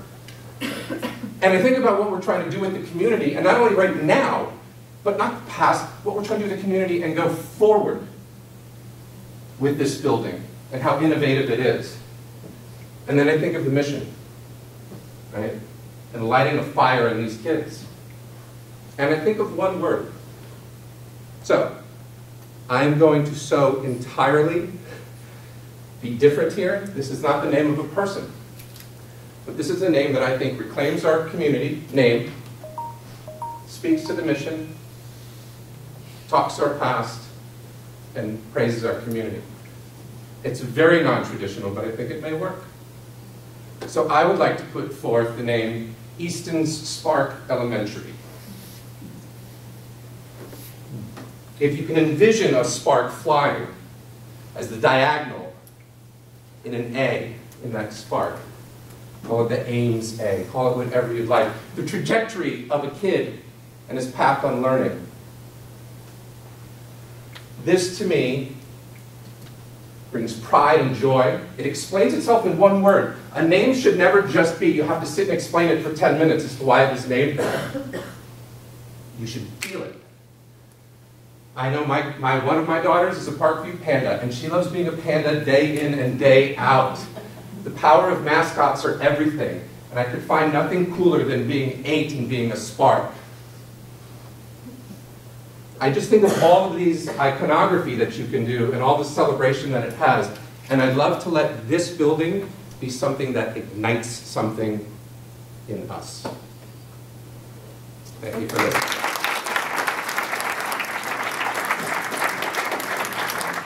Is there anyone else here that was- that I missed that is presenting?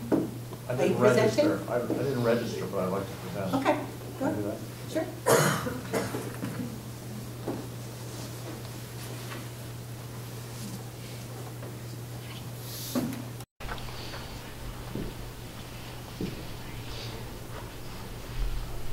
My name is Bill Ames. I'm not uh, going for one of my relatives, so I may not get invited next week. So, I, I think it's somewhat different, but things I like it. Uh, For the name of the new school, I would like to suggest the Jim Craig School. Jim's impressive journey into American sports history while, began while he was playing hockey on the ponds in the woods off North Main Street and continued as he progressed through the Easton schools. As for some background, Jim and his family lived on North Main Street. His grandfather, Craig, emigrated from Nova Scotia and was a talented landscape artist. His dad worked in the shovel factories here and also had a passion for public service. He served on the Board of Health for 30 years and was on the school committee with my father during the construction of the Center Street School. Jim graduated from OA and went to Boston University. He made the Olympic team as the goalie for the 1980 Games. In the final game against the heavily favored Russian team, the score was tied with five seconds left. In the legendary words of the announcer, your, your, your Eruzione has the puck, and there's five seconds left. Do you believe in miracles? Yes. Eruzione scores! Jim was the goalie for that game, and it is forever referred to as the miracle on ice. In the dark days of the Cold War, when the Russians were regularly threatening us, a collection of college kids beat a team of Russian professionals.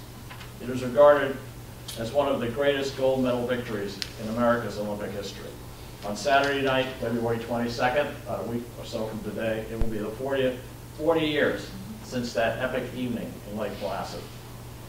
Sports teaches kids many life lessons as they progress through their school days.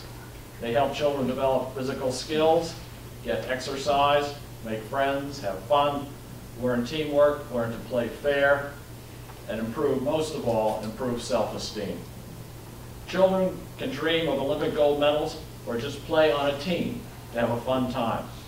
Jim's story, and thus his name, are emblematic of a journey we all embark upon early in our lives. Thank you.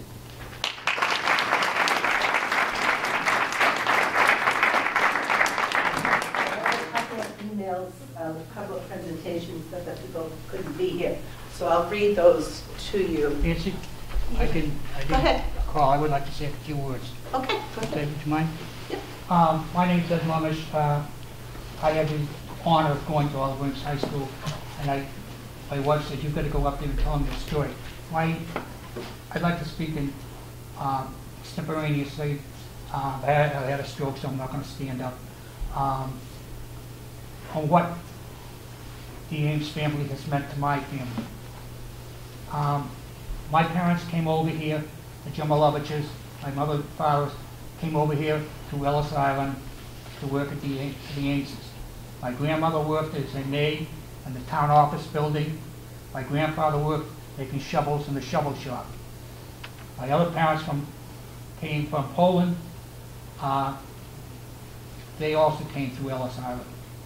So when I grew up in the duplex house that was sold to my grandparents who worked in the shovel shop pa- pawn, one of the historic duplex houses, uh, for minimum amount of money, what my grandfather made fourteen dollars a week, was it Hazel? Yeah, fourteen dollars a week. Uh, Well, my grandparents grew up on one side, my mother and father, my two sisters, and I grew up on the other side. My cousins grew up in the other duplex, Sullivans, and my second cousins, the Reeds, grew up on the other side. And if it weren't for the Ames family, we'd not, we'd not end up where we ended up today. Um, I don't have all the articulate words, I had them when I was younger. I don't have all the articulate words and uh, the beautiful analogies to draw uh, what happened. But what basically happened was, is that my grandparents grew up. I went to Frothingham Park. Okay, we had Frothingham Park. We had the, the hall that they talked about across the street from the, uh, the old Oliver Ames, the original Oliver Ames High School. Those were all given by Minnie Frothingham. Minnie Frothingham lived two houses up from me a single-family home. She was head of the library. She didn't live upstairs like everybody thought she did. She had her own little house right up on Lincoln Street. And every morning during the summer, I would go up there. She was a librarian. I would go up to the, her house, and she would show me around the gardens what, the, what weeds what weeds look like and to pull those things. And then she worked at the library for the Ames family. And I learned that a vase is a proper name for a vase. When I went home, I told my mom, Mom, you're calling that thing the wrong thing, it's a vase. And mother looked, looked at me and she'd go, well, okay. And, and I learned an awful lot. Minnie Frothingham was to eventually leave her property to my Aunt Nell, Helen Minnick, up in New Hampshire, 28 acres. Had iridescent moss on the farm. The only thing my Aunt Nell was worried about was getting the barn covered so the iridescent moss wouldn't disappear. Rather than put her money into the, the farmhouse, she didn't. My Aunt Nell was sent to uh, Simmons College in Boston by the Ames, by Minnie Frothingham, the Ames family, as well as numerous other kids were sent to colleges. I can name it, when I went to high school, higher tuitions paid and board and room paid for by the Ames family. How many scholarships they gave. John Siddell, Eddie Meehan, um, uh, just to name a couple. But I could name one from every class that got a scholarship. And some of those kids try to pay that money back to the Ameses, to give the scholarship back to the schools so it could be relocated to someone else in the future. I learned great values growing up. We had Frothingham Park, after I worked it for, uh, for Mary Lampley, she'd give me a nickel or a dime to go to the park. We played at the park all day, and I had to be home at seven o'clock at night. My mother and father both worked. Minnie Frothingham came to our house, my grandparents' house. My mother told me the story. They parked their car that they used to like to ride around in, on, in, up on the front lawn. And she came into the house and she sat down, had a cup of tea with my grandparents. She said, uh, Helen's gonna have to leave the home and stay in Boston. I'm gonna put her up at a boarding school in there because she- when you come back, she comes back here, you don't always speak English in the house. And her English grade is down, but her other grades are up very well. She's doing very, very well. So my aunt Nell rented her a place to stay, a boarding house in Boston, and she came home once in a while on the trains to visit. She graduated with honor. My Uncle Al, her brother, served in World War II, got the Navy Cross, came back here, worked for the town, voluntary fire department, was involved with the Ameses. Okay, thank So- you, thank you Uh, very much. I- Those I- are- I'm just saying, Okay. you know, you- you- we have gentlemen, some people stand up, and I'm not trying to be discourteous, but they, what they do is they stand up and they don't understand what the Ames family meant. You know? Uh, They were just wonderful people. So is your nomination for Mary Ames Frothingham, for Blanche Ames, Uh, for? Blanche Ames, most of them, Susanna I don't Ames? remember that much about Blanche. I said I was not a historian of it. All I know what went on in my household growing up as a kid. okay. And what I saw, and I can't attest to every particular moment, et cetera, uh, how, how far the swings were from the witch club. I know I swang, uh, s- uh, you know, the rings, we had the things and everything else. But what I'm saying to you is that we needed to have those things, and they always provided the facilities Right. for it. Thank you. Okay, and you know so, Nancy, because I you were do here. know. Thank you very much. Okay. much.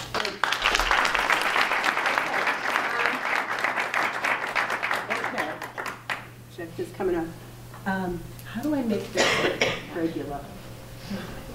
You don't want me to help you? Yes, I do. I want you to help me, Jeannie. How do I make it like a, I don't know, I don't do this. I don't have to do this anymore. Okay, all right. Oh, and that's the clip, what do I do, just that? Okay. Um, So we have Blanche A. Ames, Mary Ames Frothingham, Sarah L. Gallagher. I don't know anything, um, did she, Denise? Denise, Denise, hold on. I think Denise just said Suzanne Ames, and I didn't get anything else. Um, So this is from a sixth grader, Center View Hall, or some other movement of the three, you know, Center School, Moreau Hall, Parkview. So that was kind of cute. Um, This is Sharon, so let me um, just read her email. I would like to submit a name for consideration for the new elementary school. Unfortunately, she's unable to attend, so I should have known that. My strong preference for the new school would be to simply name it Easton Elementary School. The reason for this is because we, the entire town of Easton, came together as a community to work towards moving this vision of a new school forward. It wasn't a northeastern or southeastern decision. It wasn't a founding Ames decision. It wasn't an us versus them decision. It was one of Easton coming together as a community to do what's right for our future as a town. I understand other names have been tossed about for consideration, naming it after another Ames family member or after a former principal. Those are nice ideas, but honestly, that speaks to the past. This new school is the future. That's how it was designed. That, that's how it was marketed when looking for the townspeople to vote for it. There are already plenty of Ames buildings in town. Let's let this new school represent the whole town in its entirety rather than naming it for an individual. Another solid reason to name the new school Easton Elementary School is to avoid hurting anyone's feelings. If you select one person's name over another, you have now alienated and hurt the supporters of any other name. It is we, the current taxpayers and residents of Easton, that will be paying for the school. I am Easton, my family is Easton, my neighbors are Easton. Naming the school Easton Elementary School is rightfully naming it for us. So I just want to thank Sharon, and I hope you feel better. Okay. And I did also get some emails that were also on that same vein. Uh, Rob Gill, he wouldn't come in and present, he's out cleaning. Uh, The DJ Henry Elementary, and I think everybody knows about DJ, you know, as sad as that was, so. Uh, Metacomet we had, Easton Spark Elementary. Um, Lorna, okay. This is from Lorna Payon, who was a former teacher at the Richardson Olmsted Building. Excuse me. Um, Let's see. I would like to suggest that the new elementary school contain the word united. Easton United, Easton United Elementary, or simply United would relay the intent that Center Moreau and Parkview Elementary children will be genu- genuinely welcomed and equally united under one roof. We are a nation politically divided, Republicans and De- Democrats. We are a community geographically, geog- geographically divided, sorry, north and south. We were an upper middle elementary school, too long divided, purple and green. My motivation for the name has evolved over time. I started teaching in 1969 and became a resident in 1975. Back then, there was one Easton. My husband and I appreciated the small-town environment of Easton, and our children thrived in the Easton schools. We truly enjoyed the community. Then something changed. As a resident teacher and parent within the town of Easton, I became acutely aware of the differences in zip codes within our town. When Richardson Olmsted opened, I was one of the original staff. The school was a modern, state-of-the-art building built for all the children of the town, but it was soon apparent that the children would be segregated within the walls of the school by color. As a teacher, I was painfully aware of the carefully planned separation of green and purple on playgrounds, in cafeteria seating, and of classroom placement simply because of zip codes. Now that my grandchildren are at RO, I am pleased to observe the children of Richardson Olmsted nonchalantly walking the green and purple tiles blissfully unaware of past color restrictions. My goal in adding United to the new school name may seem unnecessary, but the results are needed. The children of Center Moreau Parkview must unite as one student body instead of three. The families of both North and South must unite as one parent group instead of two or three. The tiles within the new building must display neutral, unified colors for one and all. Easton United would represent more than a name for our school. It would represent a way of life for our community and children, a mindset of unity, inclusion, equality, a guarantee of belonging, and a respect for all sides. It would represent a united entity of one student body, one parent group, one neutral life. That's from Lorna Payne. Okay. And that's it. So, um, I will take some questions. Um, and then we do have it on the agenda as a possible vote, although I'm certainly overwhelmed by all the presentations, and thank you so much for, it was a great history lesson and a great wake-up call for all of us, I think. So does anybody have any questions? Jane? I have one.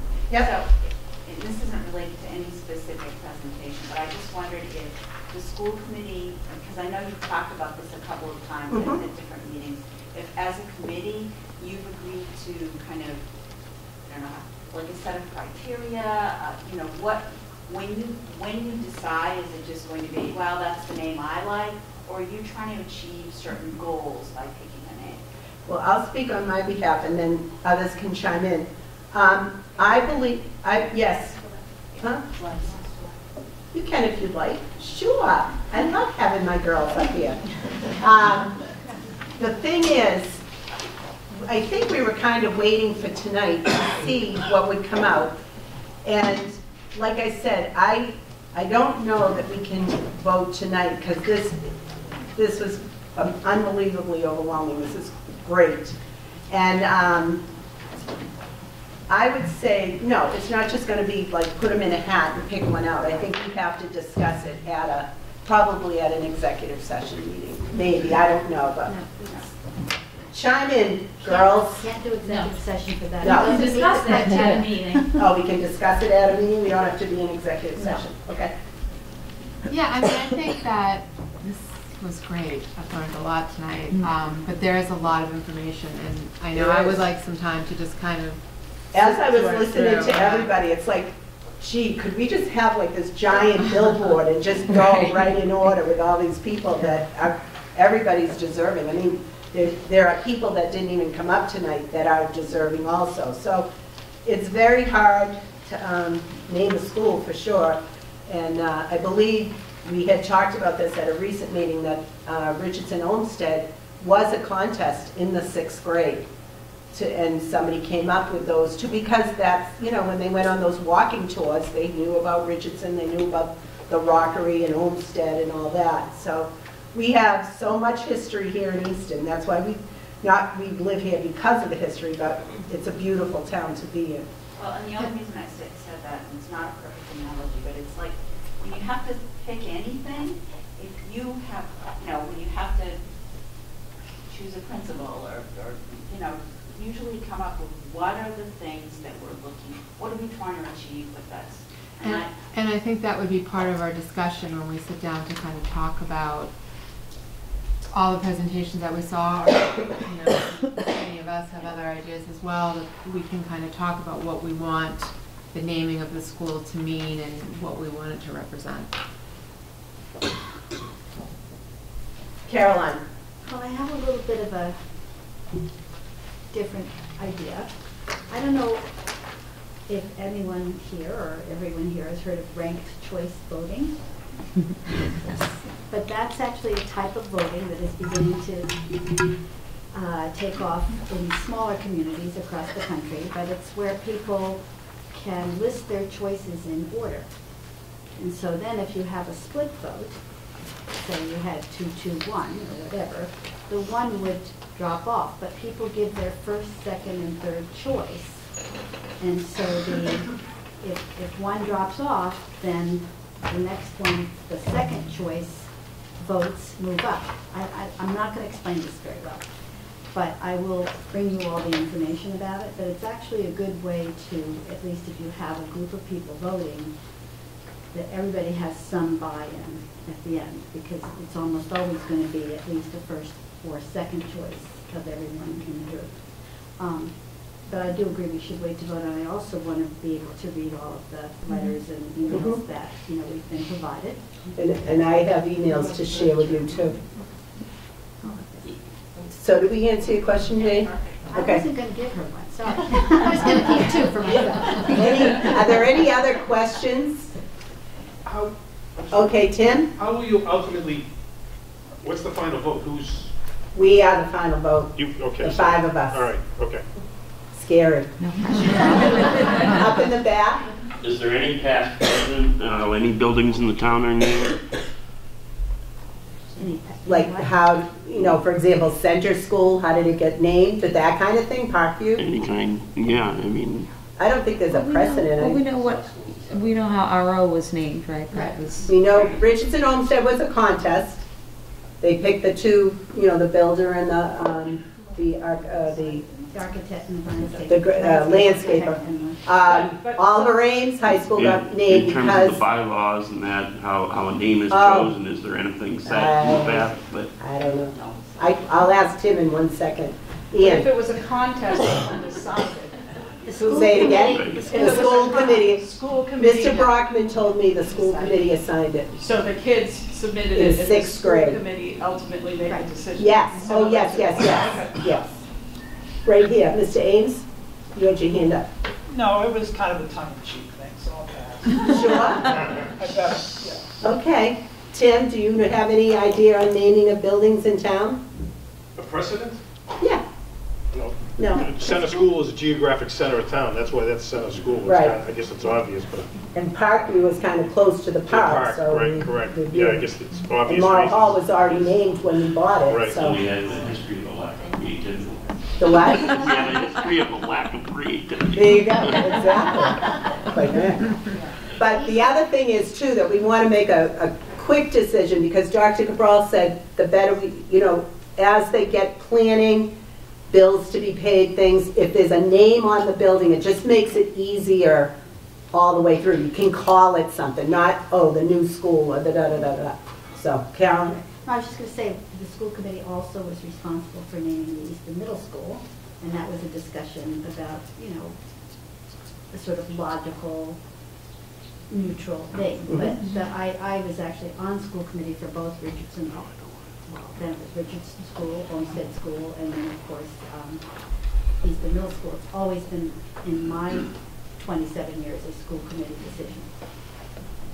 And that went from Easton Junior High to Easton Middle School. There actually was an Easton Middle School on Lincoln Street at one time.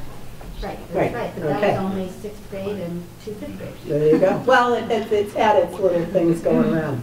Okay, Mr. Lemish? This is the last real naming of any building we have that is any significance. In other words, we've had people who have worked in the school department who have done an outstanding job. We usually name something, like this is the, uh, named in honor of the superintendent of schools who did an outstanding job for us.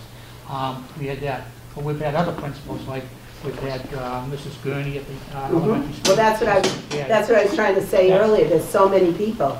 There's so many people that contribute, it's hard to do anything. One thing that stands out in your mind is that we've neglected the Ames family, because we- this one got named Oliver Ames High School, and then after that, nothing came up uh, to continue to name something. So I think that since this is the last major thing, and you know, library, the Oakes Ames Hall, Frothingham Hall, you know, I don't know, uh, the town offices, those were all donated to the town by the Ames family. Right. In other words, we should recognize what they've done. Right. The number of kids they've sent to college and all those other things. Mhm. I mean, sch- Thank you. Thank you very much. And I appreciate all of you coming to give your input. This is great. Please stay. We have much more on the agenda. Uh, One second. I would just say that. One um, second. So you do have, you have been talking about criteria. Yeah. And I think it is important to get that down on paper. Uh-huh. To explain to people How? what lens they're looking through. For example, you've talked about making sure that you are not, that if, if if it is a, if it is a person you are memorializing someone, who is someone who is still. If Right. it's someone who's still, but that is a criteria. So I think it's important to put those things down because you may have decided, you don't really realize it's the criteria. Okay. I also know that you got information tonight, you should read that, but Give that also here, give it sure, back. yeah. Can- Excuse me, hold on. Thank you. Okay, go ahead, Dr. Cabral. You can leave, just go quietly. You should also conduct research because you have gotten five minutes, not because people couldn't say more, but because you put a limit on Right. them. So in all fairness, you really need to thoroughly vet any names that were Right. you also. So Okay. that's your presentation. Thank you. I think you should recess for like a minute. Yeah, we'll, we'll hold on this discussion till, thank you, everybody that, you know, thanks for coming. Yeah, and we can. We'll just sit talk down in a and minute. Talk about that one, and, uh, Yeah. I mean, we could even do like a workshop.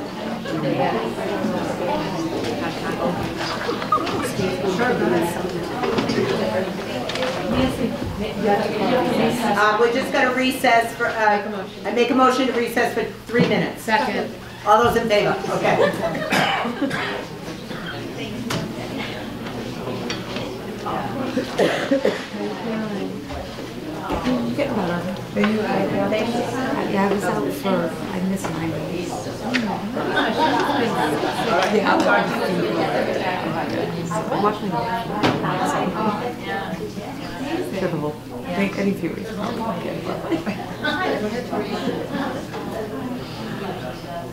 few weeks. Nancy, Nancy something. She said she's just getting ready for the, oh, my son had been decided. Yeah, I his last flu, but it was the five days of I just don't go away anymore. No. Gets sick. It's like, We wow. all set? Is that three minutes? Yes. Okay, we're back in session, thank you. Okay, so we need to set up a criteria on paper with research, make sure we vet all these names, and come to an agreement about how we're gonna name this school with what we've been given as nominations, So, correct? uh, my suggestion is, because we don't have, uh, our next meeting is at, uh, it's a morning meeting, and I'm guessing you're not to. Right, so I wanna make, we should all be at a meeting. to Right. discuss this. So the And I March don't wanna- meeting. If we wanna wait that long, or Oh. if we wanna do. Make a new meeting. We could just do a workshop one afternoon, if we're all available, just to kind of focus on this and get Sure. this, you know. All right, we'll look at schedules and uh, I'll talk to Lynn and uh, we'll figure it out. Okay, great. Okay, that's a great idea, thank you. Does anyone else want to add anything to this discussion right at the moment? Okay, so I am going to make a motion to put number eight, discussion and possible vote of, on name for new elementary school to the next meeting. Or the next meeting that we have about this, to a meeting that we, to be scheduled. Thank you, girls. What did I do without you? Oh, My goodness. So do I have a second? Second. All those in favor? Okay, thanks. Okay. Excuse me, I'm sorry. All right, we're going to jump back to number six. Vote to accept, accept anonymous donation for OA scholarship. Dr. Cabral.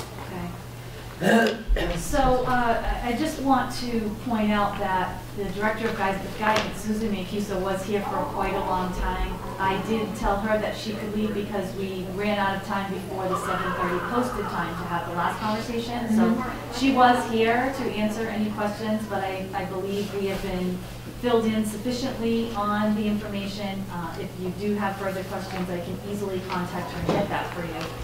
But I have um, sort of a- a mixed, mixed announcement, mixed message announcement for you this evening. Um, And that is, I want to start with some really just amazing news. And that is that we have been notified that a former resident who wishes to remain anonymous is interested in making a tremendous donation in the form of scholarships to Oliver Ames students. Uh, They would like to donate, um, or, or th- they would like to um, put into a fund a total of a million dollars to provide a minimum of five, six thousand dollar scholarships per year to Oliver Ames graduates. So just process that for a moment because I, I don't even have the words for how generous that is. And when you talk about paying something forward, it's just completely amazing and outstanding. And I completely understand the individual's um, desire to remain anonymous, and certainly we will honor that, but I truly wish we could honor this person publicly, and I, and I hope they know just how grateful we are. Um, I will say that we hit a bit of a legal snag with it, and so uh, that's the part that I'd like to fill you in on. Uh, There were five designations that the donor, who certainly can designate anything they wish, wished to make. And those designations are one scholarship awarded to a senior who is active in athletics, one scholarship to a senior who's active in extracurricular endeavors other than athletics, a senior, the third is a senior who succeeds despite a significant challenge, such as physical or medical limitation. The fourth is for a female senior who plans a career in secretarial or administrative work. And the fifth, uh, a, excuse me, a scholarship to a, uh, a male senior who's planning a career in a trade or vocation that doesn't require a four-year college degree. Now, those qualifications are very clear. However, because we are a public school system, I am aware of laws. I did have our legal counsel really, as you can imagine, exhaustively investigate this. And according to Massachusetts Regulation 603 CMR 26.07, any contributions to a school for activities and monetary awards within or sponsored by the school or for scholarships administered by the school by any person, group, or organization shall be free from any restrictions based upon race, color, sex, gender identity, religion, national origin, or sexual orientation. Two of the designations here specify a female or a male. And so it would be unlawful for us to provide that. We've had several conversations with the donor, and the donor, understandably, the donor can, can choose whatever they wish, uh, is very adamant about keeping the wording exactly as it is. Um, I wish I could tell them that we could do this differently, but under the parameters of the law, according to our attorney, the school department can have no role in administering such a scholarship. We've tried to find some workarounds, because certainly we don't want, definitely don't want to seem ungrateful, because we are not. Um, And we also don't want to insult this very generous benefactor. So what I have, what I'm asking the uh, guidance director to do is talk to uh, the donor about potentially making this a private scholarship. As many of you are probably aware, you may be confused that I'm saying this because you may have heard about scholarships that are for someone specifically of Irish descent, or a female who's pursuing a career in a certain area such as this um.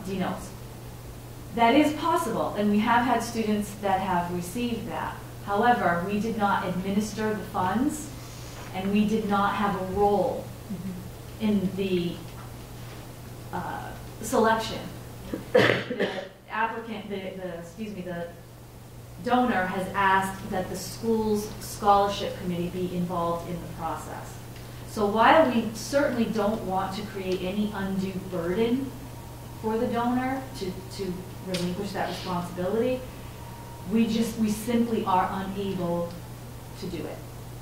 Um, I've had two different attorneys look into this and a third doing research for them. And it's, it's extremely clear that we cannot be involved in administering, financially administering, or selecting, or organizing, or in any way being involved with a scholarship that is exclusive, based on the, the, the subgroups I mentioned, one of which is um, gender.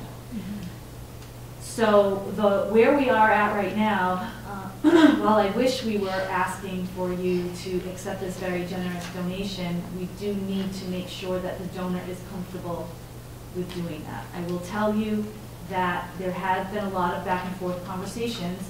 Um, I don't want to, um, I don't want to speak for the donor, but I can imagine at this point they're frustrated, and I, and I can't blame them for that.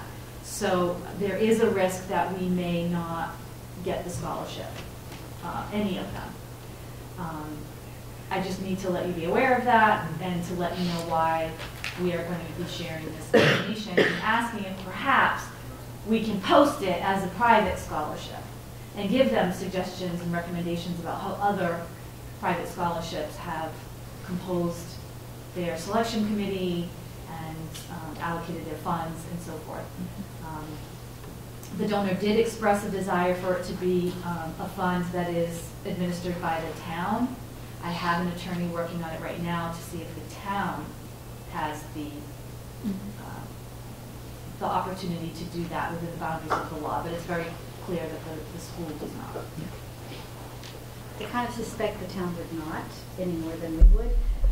But I know that you're having the Director of Guidance ask about um, the donor considering a private scholarship. Possibly another idea would be to ask if the donor, essentially as it's stated now, it's six scholarships.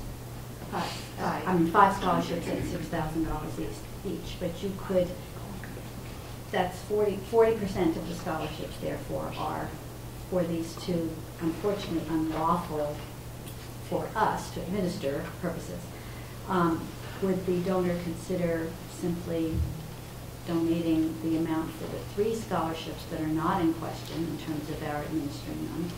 And then, I mean, it is an overwhelming, well, it can be an overwhelming task to set up a selection committee and do all those things, but you wouldn't have to do that for all five scholarships if you split it into a private scholarship for those two that the donor feels strongly about, and then kept it as, you know, something that the school administered for the rest of them. In other words, do a six hundred thousand, four hundred thousand, something like that. Just an idea that I maybe the will donor would absolutely consider. present that. It is, it is my understanding that at this point, the donor is, has made it very clear what, what they're looking to do very generously. Um, They prepared a press release and, and without specifying particular reasons, there are reasons for five specific scholarships and for those specific designations. And so I'm, I'm sure that, uh, it's my understanding they want to preserve it exactly that way. But we will absolutely bring that forward as a, as a suggestion, another, another possibility. If anybody has any other ideas, I am open to forwarding that as well. Take- That's up to you. Go ahead, Mr. I Amish. have a question on scholarships. Um, Does, who picks, when you want, to give you a private scholarship, and I gave pri, small private scholarships in my uh, mother's name, the school department wanted to pick the person getting it, and it seems to me they didn't necessarily give it to the one that I wanted to set up to, to give it to, to the type of thing that I, the categories like I wanted to establish. So after about 10 years, I stopped giving it. Um, does the school department pick the people that get these scholarships when you contribute money in a scholarship? No, it's up to the donor. If it- Some donors tell The us donor- they want the school to pick. Yeah. Some give a very specific criteria, like number one in the class, and there's really no, no other determination. And some completely choose on their own. But if, if it goes into the general Easton scholarships, the, the guidance, I believe guidance department's basically in There's a that. scholarship committee. Yeah, there's a committee. But the committee. donor determines if they want the scholarship deter- committee to choose the student or not. Right, it depends.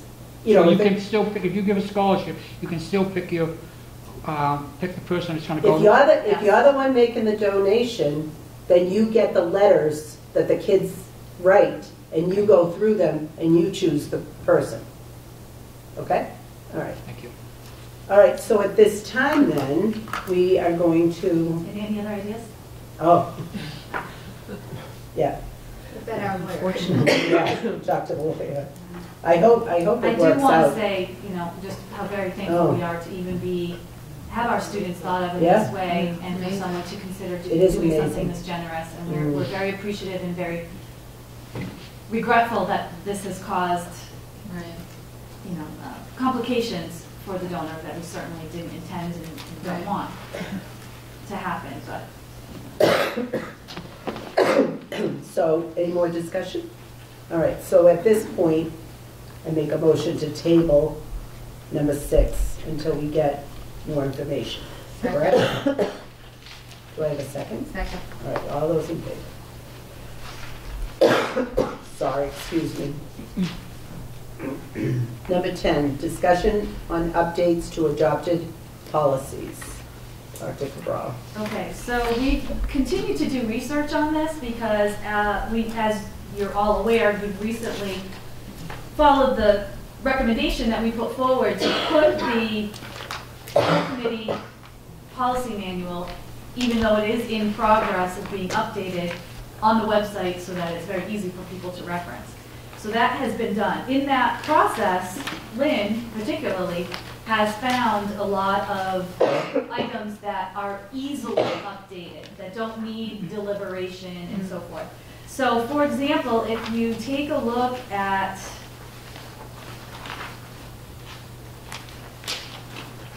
number 10. Number 10 is actually not necessary for you to vote on. If I'm out next week, you guys know why.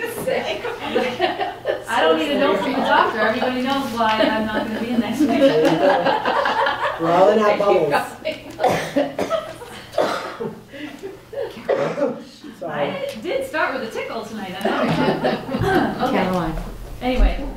Uh, so for example, in number 10, we noticed that the vision, theory of action, and core values is, does not reflect the new ones that you voted on. Also, there's an area that says to contact Michael Green, which clearly is outdated. Those kinds of things, and I, I actually got this determination from the attorney back after this was posted. So I just left it here as a, a perfect example of what the attorney says, we can just make those corrections on your behalf. Okay. Because there is not a deliberation about that. I don't think we're gonna debate whether that we do have a new vision or values, or that Dr. Green is not the superintendent anymore. So things like that, we will go through and make those Okay. um, changes. So you don't need to do any kind of vote on things like that. I just wanna make sure you're aware of that. Mhm. However, number 11 is a vote to approve the changes to an updated policy, which we received uh, from the attorneys, and you've reviewed already, and this is the educational opportunities for military children. So these have been, these are reflective of new laws and requirements that were vetted through Mass Association of School Committees and also our attorneys. And so this is an example of one that you do need to vote on because it is of substance. So this would be policy JFABE, opportun- educational opportunities for military children. Does anybody have any um, comments or corrections or additions, deletions? I was a military child. And So you can they be part didn't of have this any of these policies then, and I feel that was. I'm gonna wave my magic wand, you could go back to Texas and be in the military. I went to thirteen schools. Wow. Real Well, not all schools. of them were in the United States. There you go. Okay, so anybody have any comments on JFABE? Well, looks reasonable. Hmm? It all looks I mean, we've, reasonable. we've looked at this before, so. Right, yeah. Okay, so do we have a motion to approve changes to policy file JFABE E as highlighted in our packet? So moved. Second? All those in favor? Thank you. And there's more coming down the pike. Yes, Huh, Mrs. there Wiseman? are. Yes, there are. Did did everybody get the mailing? Did everybody get the what? The mailing from Yes. MASC Yes. for new, with new policy? Yeah. Yes. Okay. Um, Next up is vote to approve the school committee's annual report to the town, so that you should have one. Before Caroline says anything, I just want to say Mm. that I have this draft, I received it today, and I am going to, I've already promised Nancy that I will go through and make any edits that are of substance in terms of grammatical issues or so. Not that there are grammatical issues. Oh, just but there wanna could make be. sure- I I was just a want to make sure math you know that we teacher. already talked about that, so. So um, do we want to wait until, Well, what's the, I- when does it due? it's due tomorrow. Oh, Can okay. I have a minute to read through this? Because I, Yep. I know you said, I sent it, I I but- saw the draft yesterday. and yesterday. then I sent the other one this Yeah, I morning. haven't yeah. had the chance to read this. That's yet, so- fine. It doesn't take that long, really, and I only changed a couple things today, so. Okay. But I left it till the last minute, and I shouldn't have. Oh, I always do that too. But I'm, like I was telling Leisha Caroline, I'm bad with like capital letters, you know, all the punctuation stuff. I'm really bad with it, so. But these annual reports, and having done six in the past, Mhm. they're a bear. I mean, they're. There's a lot to a lot. this. It's a It's a lot lot, of information. yeah. and- And we have actually changed how we've done this. And it's been confusing for people, understandably, because it's been done this way for a very long time. And that is that the town creates a book for a calendar year. Right, that was always problematic for us, because we, our report is the longest. We have participation from every department, every school, school committee, uh, myself, professional development, special education, and it is always hard to think of what we do in a school year. And particularly when we're talking about things like budgets, or academic achievement, or new initiatives that are taking place. They usually take place by school year, they don't take place by calendar year. And so last year, uh, I approached the town manager, who was uh, very kind to, to listen to the pitch, to ask if we could just do it a little bit differently. And instead of doing calendar year of 2019 from January to December, incorporate most of the calendar year by starting in September 2018 until through August of 2019. That way we're only three to four months off, Makes everyone much more else. sense. And it's an actual school year. Mm. So last year we did that, and I, I, I have to say, it is preserved for posterity, so anybody can see it on their own. Last year we had sort of a back and forth, because we, there were things that were submitted, and we, and we did a lot of work, and it was, people were going back and forth between the academic year and the school year. So there are some things in there that are repeated this year. And I said, there may be one year of some overlap, and that's perfectly fine. There has to be, right? There has to be that year of overlap. Mhm. So this year, we are focusing on the 18-19 school year for the 2019 town report. And um, so unfortunately, some people had to go back and do some revisions, and then we put it all together and make sure it flows and is edited and so forth. So that has, that set a couple of people back. Uh, Because even though, you know, they were reminded, Lynn did a great reminder to everybody, but old habits die hard, and they've done it that way for such a long time. Um, We did have to go back and, and make some significant changes. So we'll be sending it to the town, uh, actually on Saturday. Are they making changes to this now? No, this is the school committee. This is- This is a part of the town report. This is, this is sent along with it. This is part of, so this is separate from the, and is this the school year or the- also? This is the, the school year, F- Right. 18 to 19. Okay. For the most part. So, so Yeah, just to we point have out the- that this, the the paragraph on elementary STEAM, well, just to point out the paragraph on STEAM, actually I- it's so, for the yeah. nineteen twenty school year. Yeah, So there's, you might there's a wanna lot save that's that. nineteen twenty. Would you say that again? Which The- one? It starts at the bottom of page two, Oh, and yeah. it's that last paragraph up to the, the. So, page three. that was the, so I just found out about the 2018-19. I wrote this as 2019 to begin with. Okay. Right, because it covers your trip to China, which Right, was, was all, yes. yeah. So then I have nothing left to write about because all that's going to take, no. Do you have? I mean, that's like the vote was in November, October and November, so the vote would be out too. Yeah. But I think that's a very important thing in Yeah. 2019.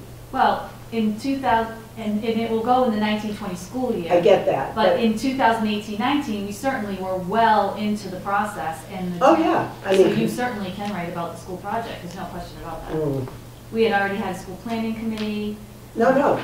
And that actually was in the 2018, there was a great Right. paragraph Right, in there because about the there's going to be that school and how. overlap, because it went through to December. Okay. And now we're going back from September to, And- And I'll, I'll just use myself as an example. You will see in my report that there is overlap from last year's report. Okay. And that is because of the transition. Mm-hmm. And I think So, that I this mean- is the year that we will be a see what transition, Leisha had yeah. talked about. Right, and, s- and so next year, and whoever is chair, I would very much help put this, you know, with the school, like right now, that's what we should be doing, or somebody, I could do it, is just keeping track of, what did you say, September 1st or August 1st? What do you s- September until the end of August. August, so keeping track right now, so that that could just be, even if it's repeated again next year, I don't think it's gonna hurt, Well, right? You asked me earlier how many people read the report besides I elected think a lot of officials. people mm, I'd read the say report. three or four. No, I think a lot of people. I mean, besides all the So, all elected right, officials. so, so, so right now, your report is based on the full 2019 year? I believe so. Okay, so, And I guess part of 2018 from some of the awards and things like Right. that. so, I mean, it doesn't, it doesn't seem reasonable that Nancy can Rewrite. shape this all by tomorrow. I mean, I mean, can we just leave it like this? And like I said, now we, now we know that it's going to be, ch- next year's report is September 1st, 2019 to August 30th, 2020. And some of the stuff will we repeat it. be repeated. I don't know, I It's your can, report. I can fix it. I, well, I I mean- just, It, it just seems, I, I totally get that, I totally understand like, like why we would do on the academic year, but given the timing of this, it's, it's six months out of date by the time we're writing it. We've missed Well, the last six months of activity. And you If don't we- receive, if- you don't yeah. receive the annual report until town meeting. Right, yeah, so at that May. point, it's almost a year out of date versus if we kind of So, went through and the when I, if year. if I go to the 2019 town report, and I go to the Easton School Committee, I think I want to know that in 2019, We we we just got approved by the million. MSBA to spend all that money on a new school. Like, I don't see waiting another year to put that in. Let's put it in again with a name. Next year, we can put it in with a name. I think, I don't think there's any harm in having things from the engineer Yeah. in the school committee chairperson's report. Yeah. I don't think there's any harm in that. It was always the calendar year, and it was It always. still is, the town is still doing. No, I know the town is, I'm just saying it was always a a challenge, because Yeah. there was that, you know, because, and well, plus you're writing the report at the end of January, and it Right. seemed like every time I wrote a report, everything happened in January. Right. I was like, wait a minute, I can't put that in, oh, wait a minute, you know, so it was, it was confusing, but I think it would look crazy not to include the, the new school books. Right. Yeah. I mean, that's so significant. I just had a small recommendation for that, though. Authorize a debt exclusion override to provide Mm. funding for the new school, second paragraph, instead of to build the new school, only because it's essentially the Yeah. override. Say that again for the provide funding for the To new school. provide funding. Okay. I mean, technically, we had to, remember, we Right, to vote no. for the whole thing, but then we Right. got the state grant, but that just, you Yep. know, No, thank you. Makes it- That's why I need your eyes, Carolyn. But I haven't, I haven't also gone over this, but, but I think it's fine, and I don't think there's any Well- problem with there being, nobody is going to call up and say, wait a minute, this happened out after August Right, 31st. Uh, You know, I, it's just not. And then it's now not- going forward, now, next year, it'll be Yeah. 2019, 2020. Well, the school department is doing 2018-19. You can still do 2019 if you want to for your school committee. Mhm. I mean, that's I- Yeah, I just think at this point, it's, that's not realistic to redo it. Yeah. And Okay. and I think it has all the important information. There's enough it. context to understand that some of it refers to the previous academic year and some of it refers to, you know, Yeah. calendar year. And, Yeah, I, I don't, thi- I wasn't, granted, we live and breathe this, so we're not really the audience, but I had no trouble kind of following Okay. when stuff happens. so I don't think a reader will have an issue. So, do we want to make a motion to accept this, and if Dr. Cabral finds things that could be corrected? Not he's- of substance, I'm not going Not- to change anything. like capital letters and stuff like that. Um, Can we make a motion to accept it Yes. as is with possible corrections? I will make a motion to accept the 2019 annual report of the Easton School Committee with possible corrections by Dr. Cabral. Second. All those in favor? And the other thing I was going to say, girls, if you find something tonight, tomorrow, I mean, you know, shout it in, and I'll tell you. Lucia. Well, good Yeah. job on They this. can just contact me directly. Okay, There's a lot of fine. stuff in there, so. All right. Public comment. We're going to start up back. One second, Jane. To start up back. Okay, I probably missed my opportunity when we were talking about the schools, but I've been dwelling on this the whole time. Can I just, I work at Parkview, and we have been generously offered many opportunities throughout this entire process, come to the meetings, have an interior meeting, have meetings, you know, with all your ideas on the interior, the exterior, everything you want to know. But now when it comes time to making this important decision for the naming, while it's been awesome listening to all these choices, now I find out that it's nothing against you guys, but it's just up to you five. And it just seems like this would be a great opportunity for the teachers. Could we weigh in on this? Like, we're the ones who are going to be working and walking into the building every day. Like, mm-hmm. there's so many amazing choices. I just feel like to be told that we were going to be part of the process and to not have any part of the naming just doesn't feel 100% right. And I know there's a lot of people involved, but maybe just some way, like just consider it. Okay. Um, Maybe when we're um, looking at our criteria, and I don't, I don't know. like- I think we can still accept if, if somebody, a- especially after hearing what was proposed tonight, if there are members of the community who want to send, uh, you know, maybe send an email or, uh, you know, um, put together something, you know, some feedback for us to consider, because it'll be, you know, we'll have a separate meeting, so there'll be some time between now and when we vote on it. Maybe that could, you know, just. To discuss it. Yeah. Just, I, I personally got a lot of emails for all, di- not necessarily a name, but people's thoughts about how they felt about the school, so. So it's okay for me to Yes. share that with Mhm. people if they ask me who to come, I Mhm. can say, go ahead and write an email? Yeah, Who for would sure. that go to? N. DeLuca at easton.k12.ma.us. Dot, dot, dot. Thank you very much. Thank you. Jane? Sorry. Why are you sorry? So I have a question, I'm gonna rewind a little bit, and, and maybe I should have asked when Wes was here. Um, But this kind of, I think it relates to the program of studies, but I'm, so the presentation on the program of studies tonight was really incredible and really exciting. But one of the things, and I know that we're working on curriculum and making sure that our curriculum is written so kind of from a universal design perspective, that we curriculum so all students can access and learn. But I wonder in terms of the program of studies, what, what methods or mechanisms, or how are we ensuring that all students, particularly our subgroups of students, um, have access to all of the um, opportunities that exist within our, our program of studies, particularly as that program of studies becomes more robust and more comprehensive and, and more thoughtful. Um, I know that a lot of the um, conversations and a lot of the literature now, particularly when you start looking at subgroups, it shows that there is a kind of inverse proportion of cer- certain populations of students that have access to certain courses.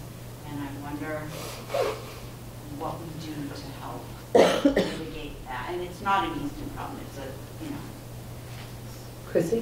Did you Oh. want to? I was just gonna, going to say that we do have data now um, that actually points out for the district uh, what populations are not taking the courses and what populations are taking the courses. And Wes does review that with his um, uh, department heads as well as with the guidance department. Um, That is something, it's, and- and it is something that, that anyone can access. and so what are we doing with that data to ensure that Right. So, um, what I was gonna say, I always take the balcony view. I know. So I go back at the district level, and I interestingly had this conversation just yesterday with some staff members. And this is not, it's not a quick fix. You don't look at something and say, oh, that's off, okay, let's change that tomorrow. Uh, it, it's more of a, a, a culture within a, a department. And so, not to belabor all the things that we've been working on, but I'm going to connect it to what we were talking about, or what I brought up actually earlier with the social studies and, history curriculum. There are really kind of a couple of ways to approach something, and what we've tried to do here at Easton is make sure that we aren't just looking at, you can, you can jump out and check off some boxes and make some charts, um, or you can take the less satisfactorily long way of going about it and starting with the foundation. So, as an example, I recently attended a meeting of superintendents, which shall name, remain unnamed. a meeting of superintendents. So a lot of my colleagues around the district, and this is exactly what we were talking about. and the presenters, who were wonderful and had a lot of great information to present, the quick version, basically we're giving us these spreadsheets and ways to capture all of the data that Chrissy's talking about. Um, because we have so much available to us. Every subgroup, how they're achieving, where they're achieving it, who their teachers are, how much experience their teachers have, what degrees their teachers have in relation to what they're teaching. We have all this information. And they wanted to help all of us put it into this ginormous spreadsheet of many, many, many pages, which has value, ultimately. It was a great visual, and they presented it very well, but I was, I didn't express great enthusiasm about it. And the reason was because, first and foremost, you show this packet to a bunch of educators, and, and what is that to them? It's another thing to do. In a, a in a world where they have a million things to do. And I always say, everybody says it back to me, I say, you know what I'm gonna say, what is the, and they always say purpose. What is the purpose of doing this? And that's exactly to the- your question, Jane. So we fill out this chart. What is the purpose? I don't feel that filling out the chart, while it might check a box somewhere, really makes any substantive change. However, if you have an environment that we've really sparked, sorry, Easton, I believe, where we are talking about social justice and social injustice. We're talking about unconscious bias and conscious bias. We're talking about white privilege and white fragility. And we're really approaching these conversations, true equity, true access. And we are running book clubs, and we have professional guidance, and we have professional development, and we have conversations at staff meetings. And I saw evidence of this yesterday, which is why this is a timely question. Because these teachers were saying, I said, so, so you know, you, you read this book, you did this work, what are some of the things that are coming from it? And they talked about the conversations it has and their curiosity. And they said, so I want to know, like, what is the achievement gap here? And where do we have the classes that aren't? And I went, ding, ding, ding. At that point, you can say, well, I have a tool for you. Do you see the difference? Mm-hmm. The, fir- the way I'm describing it takes longer. However, anything that ha- i- going to stick, be meaningful, and last, and really make a significant change, has, you have to invest the time and resources in it for that to happen. And those sort of paradigm pedagogical shifts for people, they take time. And, it, and when they're, all they're doing all day long is planning and assessing and working with kids and, and giving their heart every day to this work. So this was a small group of teachers, but then it's going to be a larger group of teachers, and then it's going to be a larger group of teachers, and then I can start showing some data points we have and start showing the charts, and then we can start making some of these substantive changes. But if I were using that chart as an example to plop this up in, at the cabinet and say everybody needs to fill this out, and then look it over and analyze it, there isn't going to be that second part, which is the, the meat of your question. And what's, what's the result of that? So now I literally have people asking for that. After a very short amount of time. Is that everybody and everywhere with every data point on that chart? No. But it was enough to show me that our initial efforts are starting to spread. And I, I, we can do the charts. And, and, you know, we, if we're mandated by the state, we'll have to do the charts. But I really believe that this is the more purposeful and uh, meaningful way to go about that work. Does that make sense? Talk about balcony view, right? Yeah. Um, and, it, and it will take us time, but I am already very encouraged by the conversations, the openness, the humility, the reflection that has been taking place in our community, our staff, and our students. Um, and it will not be fixed overnight, but we do have some things that are taking off and are getting changed very quickly. But um, while people may not see it, I really want to assure you that this this work is already um, creating some shifts in perspective. And a shift in perspective will change everything else. It- It really will. I just want to point out that that, I feel like Dr. Cabral's description right there is how change occurs. And so often, we are dropped with emails of, new data's coming out from the state, and, you know, that, I feel like what, what I was just sharing is a result of the bombardment of emails that I received from the, from DESE, you know, because they're trying to pro- provide us with the information. Um, and, and by bombarding us, you know, that, that small percentage is actually tied to accountability as well, of how many students are accessing um, uh, advanced courses, coursework.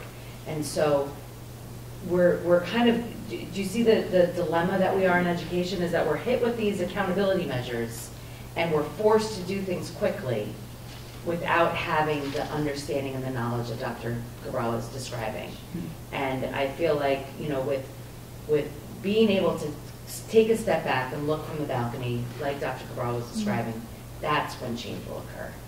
And, and it will, and it will, it will stick. With that said, When we a are spark. keenly aware that every student has one grade three, and one grade six, and one grade 11.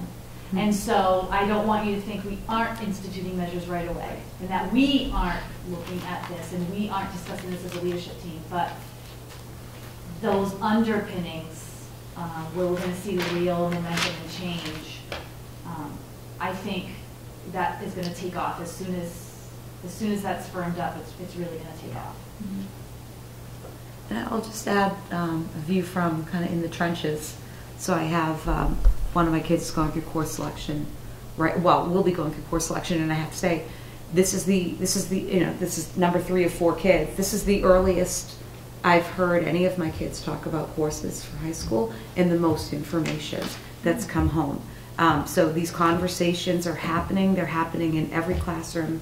They're happening with every teacher. He's getting really valuable perspectives and insights and um, you know not to share too much about you know my kid on cable but this is not Facebook Live. not right yeah But, you know not not somebody who is you know the the most together you know necessarily like but kind of it's really been like a blue sky experience where um, you know he's there have been suggestions made for him for or he's thrown out and said you know well what would it take for me to get there and he's not being shut down you know it's it seems much more like much more of a, of a blue sky type of thing and a kind of and I, and I think you know this this is is, is helping already I think it's just, it is, it's just yes. posted, right? Um, but yeah, you know what I mean, so kind of, he's kind of look, because he sort of knows what he wants to maybe, maybe do career-wise, and, and, and I don't know if this was literally shown to him, but he was thinking, oh, I gotta squeeze in, I wanna try to get this class in junior year and this class in senior year, and it was just like, uh, it was really, really encouraging to, to hear, and, and even in, in, you know, my eighth grader, they were already starting to talk about, you know, their, their course comes later. And there's certainly not as much available as to a ninth grader, you know, this is really, you don't get to select a lot, but they are, they're talking about it down in eighth grade too, so. It's there, it's, it's kind of good to, to hear it, you know, and, and, and just, not even just my child, but just, you know, I was, we were at a hockey game and, yeah, the conversations are happening, so. So, yeah, so it's, it's getting, it's getting from school to home, which is good. What's that? Okay. Uh, Superintendent notes None tonight. and assistant superintendent notes. You don't have some. Come on. Uh, I just wanted to share that I had the privilege of attending the Massachusetts Interscholastic Athletic Association 2020 Girls and Women in Sports Day at Faneuil Hall uh, last Friday, and our very own Lainey Clement Holbrook addressed the students and audience as the keynote speaker. Uh, She delivered a wonderful message about success and determination for all girls in sports. Lainey went on to win her 700th career win that night as our um, varsity girls basketball team head coach. So it just was a, it was a great day and just an honor and privilege to be there um, to see that occur. Um, I also want to share that I had the honor of being a judge at the fourth annual Poetry Out Loud contest. Uh, There were 10 contestants. Each contestant had to memorize and share two poems, and they were judged on delivery, interpretation, and overall presentation. Um, Aiden Marcus was this year's winner, and will be heading to the state semifinals in Hopkinton on February 29th at 10 o'clock in the morning. So good luck to Aiden. And I She want was- to thank all the fantastic. department, the English department teachers Yeah. who volunteer their time and really um, work very hard with the students, not only in preparation, but they're there that evening, right? And, and really have, a- by, at this point, a well-oiled machine in in how they, they get it done, because it's very fast-paced. So um, I really want to make sure they get a shout out. They're, they're great. And then just a reminder that our, our fourth workshop of our equity series will be coming on March 4th. Uh, the focus of this session will be to explore the importance of social skills in all- all areas of academics and life. We'll examine the skills required to be an effective school communicator while taking a closer look at the profile of individuals who struggle socially. The session will address effective strategies to incorporate in both the educational and home setting to support learners with social weaknesses to be successful in both school and life. And that is from 4 o'clock to 6 o'clock the- in the PD room at Richardson Olmsted um, for staff members. Oh, okay. And for 6:30 to 8:30 for our community Mhm. um, in the RO PD room as well. I thought it was in the cafeteria. Nope, it's in, Okay. it's in the professional development. Okay. Yeah. Second floor, right across from the library. Yes. And registration is preferred but not required. That it? That's it. Oh, Thank Thank you. Uh, School committee notes. Go ahead, Carolyn. Okay, I, I actually do have a few tonight. I don't think I had any last one. I don't think you did. Well, first of all, I'm sure Michelle will elaborate on this, but, well, really, all of us uh, were at the Tempo Dessert Show, which was fabulous, and I'm sure Michelle will talk more about that. Last night, not last night, let's see. Yes, I am. My, hmm? sorry. Go ahead. Just passing the. Yeah. Uh, No, I meant, sorry. Um, Last night was the school planning committee's meeting with the abutters, and I just wanted to compliment the team, the Perkins Eastman and the, was, um, PMA. PMA, right. Um, They just did a wonderful job, very patiently, very conscientiously addressing every concern that was raised. And Dr. Cabral also played an important role in, in kind of really just listening and reassuring people. Uh, I think that a few people did arrive, clearly quite agitated. Uh, There were about 12 abutters that attended.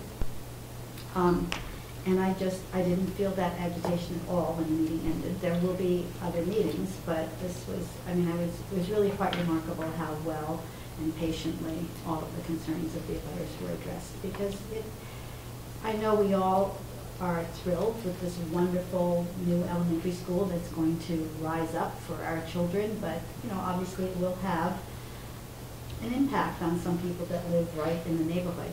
Um, And uh, one of the things that we did talk about, which was very interesting, I don't know if anybody saw the article in the Globe about the uh, group of families in Needham, I believe, Mhm. that is, uh, after the the project like this, they developed cracks all over their houses, and all the walls, the floors, everything.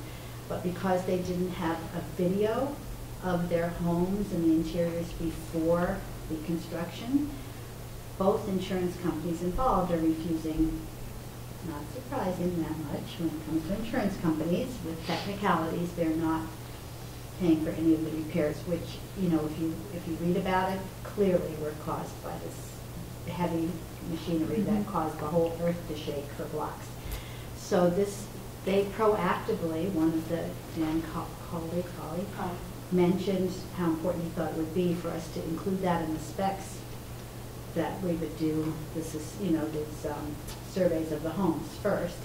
And then I actually mentioned that, you know, the most, to me, important in butters are all of the children that are going to be in the other schools. So I think we need to do this for our schools too, because, you know, the construction company will be responsible if they, if their equipment causes this mm-hmm. damage, but you have to be able to demonstrate mm-hmm. very mm-hmm. clearly that that's the case. I know I'm going on a bit, but I thought you folks would find this interesting, because it's kind of a, something that a lot of people don't think about. And we're very appreciative that the, the neighbors came, and we encourage them to keep coming, because there are considerations that obviously, if you don't live right there, you wouldn't know. It doesn't Right. matter how many times you go up and down the street, you need to live it to understand it. And so we need that lens.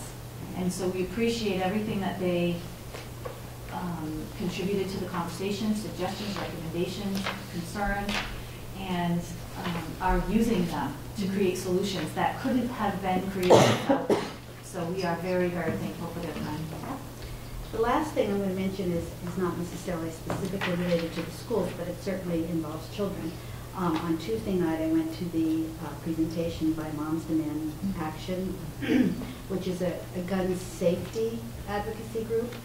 And as they repeated several times, they're not anti-gun, but they are definitely strong proponents of safe measures to protect children. And there were some kind of shocking statistics. I hope you'll bear with me because I do think this is super important. Um, one in three homes, well, first of all, the number, the number of gun deaths of children in the country is increasing each year. I mean, it's tragic.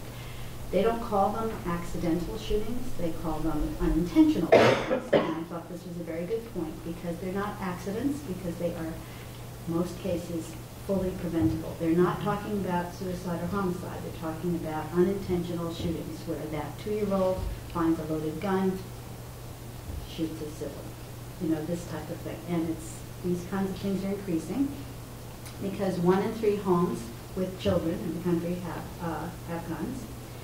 And of those, two out of three of those guns are not stored properly. So they're accessible to children.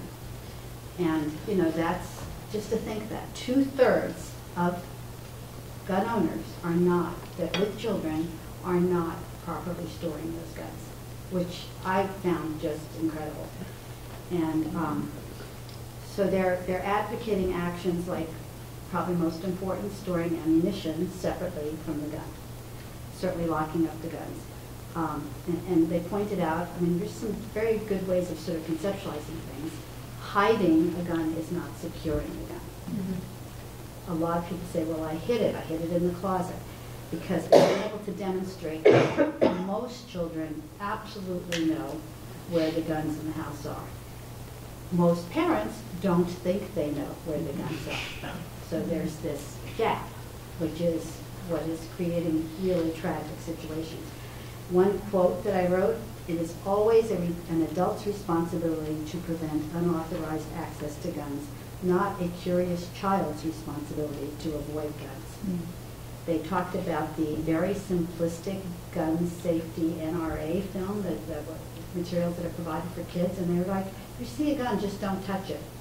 You know, it's like, you're gonna tell a four-year-old, don't touch a gun? And they've shown videos of experiments where they've done, where they've given this little NRA video to kids, and then they've provided them, you know, obviously with an, un- a gun that won't shoot and things like that, but they go in a room and they find the guns right away, they're hidden, and they, of course, pull the triggers, because this is what kids do. So, um, so the last thing I wanted to mention is, I believe, please correct me if I'm wrong, that you said that we're not doing drills for kids anymore, correct? We've never done them. But I didn't think so.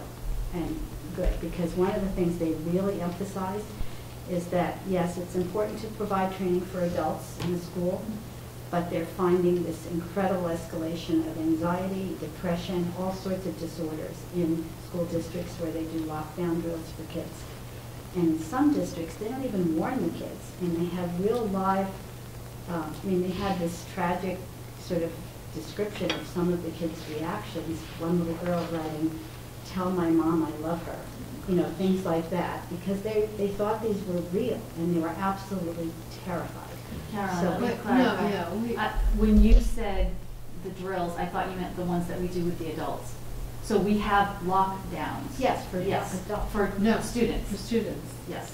Well. But they're announced. But not the ones that we have, which are far more aggressive. would Okay, be- but they are, the students are told in advance, right? I mean, if, if not, then I would strongly encourage you to get this No, information. I'm pretty sure, because I've been there when that happened, and there's, there's been an announcement. Right, and, and they state that it's a, that it's a drill, Yeah. that it's not, you know, it's a Yeah. practice. Okay, do you state the purpose of the, I mean, do you state that it is specifically for a potential? No. I think it's Okay. shelter, it's, It's it's a worded as a shelter in place. Yeah. There are two. The Okay. shelter in place is when you, the students are in the classroom, but you- the teacher does not let them go to the restroom or to the office. That's used for a lot of different scenarios, like there could be a medical emergency in the hallway and we need to have privacy for that person. But it's business as usual, but nobody leaves the classroom. That's all shelter in place means.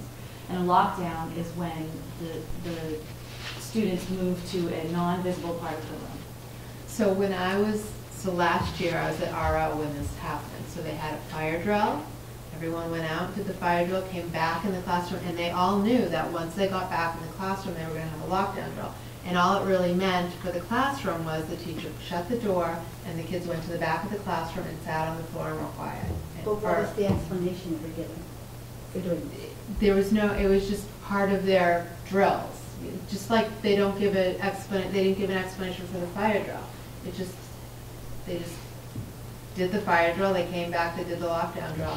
They didn't, they didn't say anything like, this is in case blah, blah, blah, blah, blah. They just said, we're gonna have a fire drill and then we're gonna have a lockdown drill and that's, it? Well, I do think it's important for us to kind of do as much research as possible about how to handle these things and so. I'm assuming we're, we've got top, I know we have a security advises us, and one of the things, I mean, as you know, this has been one of my issues. They definitely do not advocate the ALICE training. I mean, they were strongly opposed to that. But also, they have, there's a report that exists, I'll have to try to get the information about that, but it talks about, um, it was developed by uh, medical experts along with the American Federation of Teachers and the NEA. And it's about children's reactions and how to handle like responses and so on that children may have to any of these things that occur that we're doing. Obviously, we're trying to keep children safe, but we also have to be cognizant of the, any kind of potential reaction that kids may have. We're well aware of that, and unfortunately, there are some protocols, I explained one in the past that happened at my son's school, which are completely inappropriate, and um, I'm confident that's what they're referring to. There are some scare tactics, there are, um, whether they're intentional or not intentional, and we do not endorse them, and we do not do that with our students. I didn't think so, and I thought that had raised us on that before, but then when you, you know, it's the term lockdown that kind of triggers that. But it- there also But- was, like, nobody was going around checking doors and banging on doors and stuff like that. It was that's not- no. There was none of that. We, when I talked about, when I said no at first, it's because I thought you were referring to the training that we've done with the staff. Which we were Where involved in. we are involved in barricades and things like Right. that. We don't do Right. that with students. No. We've never done that with students. No, we, you let us be involved in those trainings, and those were good, I mean, good. Um, Well, what are And the? somebody may go around and, and check doors because they're checking to see if they're locked. Well- But that, does- we don't do it in a way to frighten children. And looking through the windows to make sure that they can't see, um, because then that's feedback for the teacher to make sure that they're in this particular area. If the child's sitting there, they might be able to see. Well, I know this is the first thing we did, but they did say that the most important safety feature was doors that lock. I mean, that was, I mean, we did that some Right. years ago, but that was the very first thing we kind of tackled. So the last thing was about encouraging parents, more than encouraging, really just ensuring that parents, I know you looked at the clock. Sorry. Um, ask when, they- when they, when their child is invited over to another child's house, how important it is to ask, do you have, do you have guns in your house? And if so, how are they secured? They said a lot of people are too embarrassed to ask, they're uncomfortable. They said you can make it part of a, you know, I'm just a mom, I'm very concerned about a lot of safety issues.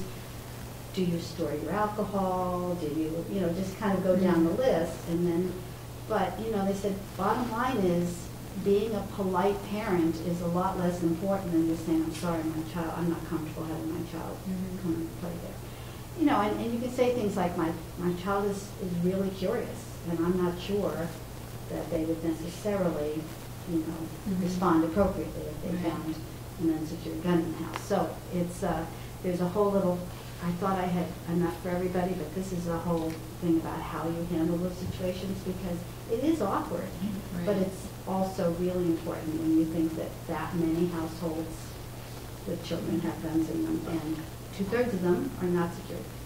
That's crazy. Yeah. So, Okay, sorry. Thank you, Let me go Carolyn. over. Thank you. That Michelle? presentation was two hours. Michelle? Um, Well, I guess I will elaborate on the dessert show. We had a guest server for the night. Thank you, Dr. It was nice of that she jumped in, rolled up her sleeves, and got to work serving desserts to people who were very into it, and grateful. It was fun. It was a lot of fun. The, the, the fun thing about that night is to see the progression that the students go through, and as a senior mom, it made it that much more. Mhm. Like, oh, um, from when they first start, and then, oh yeah, they, they get to the EMS sixth grade band and the seventh grade band, eighth grade band, and just how much better they get, more comfortable and more confident, Mhm. and, um, you know, start to take risks and maybe do solos, and it's just really nice to see, and you see the same kids that have gone through the program, and that kind of family bond. It was, it's just, it's a nice night to see all the ensembles and how the image feeds into show choir and the, the jazz bands and the guitar ensemble. I think they've been only a couple years now. I think it's great for the students to see one Yeah. another as well. Yeah, That's the exactly. reason. Gives them something like that. And to fill it up more. Michelle's son, Sean, had solo. Yes, and the very last, and I thank you, yes. people who are kind enough to stay to the very end. great. That's great. It was a late night. Um, and the robotics had their annual fundraiser, comedy fundraiser, um, this past weekend, which was a huge success, and, um, that's always a fun night. Great. Thank you. No, I'm nothing. Jen? Uh, Just a couple things that, um, I was able to attend both of the equity series nights, so thanks for uh, you know, bringing those to the district. They were really enlightening, and I hope that everybody who attended um, got as much out of them as I did. So they're really great. Um, The CPAC had a, a- a daytime um, meeting earlier this week that I wasn't able to attend, but their next two uh, workshops will be evenings. Um, So if anybody's interested, look uh, on the CPAC uh, Facebook page um, or the brochure. Um, You can find the information on the next upcoming meetings. And uh, I believe one of them will be at the Y, and there will be childcare available for that. Um, And they've been doing um, a lot of, there's, there's been uh, quite a bit of work with some of the other local collaboratives um, on uh, detailed transition planning. And I know that we have several parents in the district who have been um, involved with going to some of the transition planning meetings for the soon-to-be graduates or young adults. Um, I just wanted to congratulate the girls swim team, undefeated this season, and they won, I believe, the Hockomock champs, and I think came in third in the state. So I think their season's wrapped up, um, and I, I think the rest of the winter sports seasons are still going. So good luck to all the rest of the winter sports teams. That was, was all I And. I just have one question, I think, Chrissy. So I think we talked about this before, but I just want to be reminded, civics that we talked about tonight, is that this year? They're not doing an MCAS test this No, year? they are not. Next year? We're unsure. Okay, all right, because I They'll knew let that us was. know two weeks before. I know, I know it was thrown out. And then they'll call it a pilot. And I just have a couple little things. Congratulations to Laney Holbrook, awesome. Also, um, we have students over in Australia right now, so I'm hoping that they. Zealand. New They were in Zealand. Australia, now they're in New Zealand. So I hope they have a great and safe trip and productive, and I'm really looking forward to hoping that they come to one of our meetings and tell us about it. Okay, does anybody have anything else? Do I have a motion to adjourn? So moved. Second. All those in favor? Thank you very much, everybody. Thank you. Thank you all for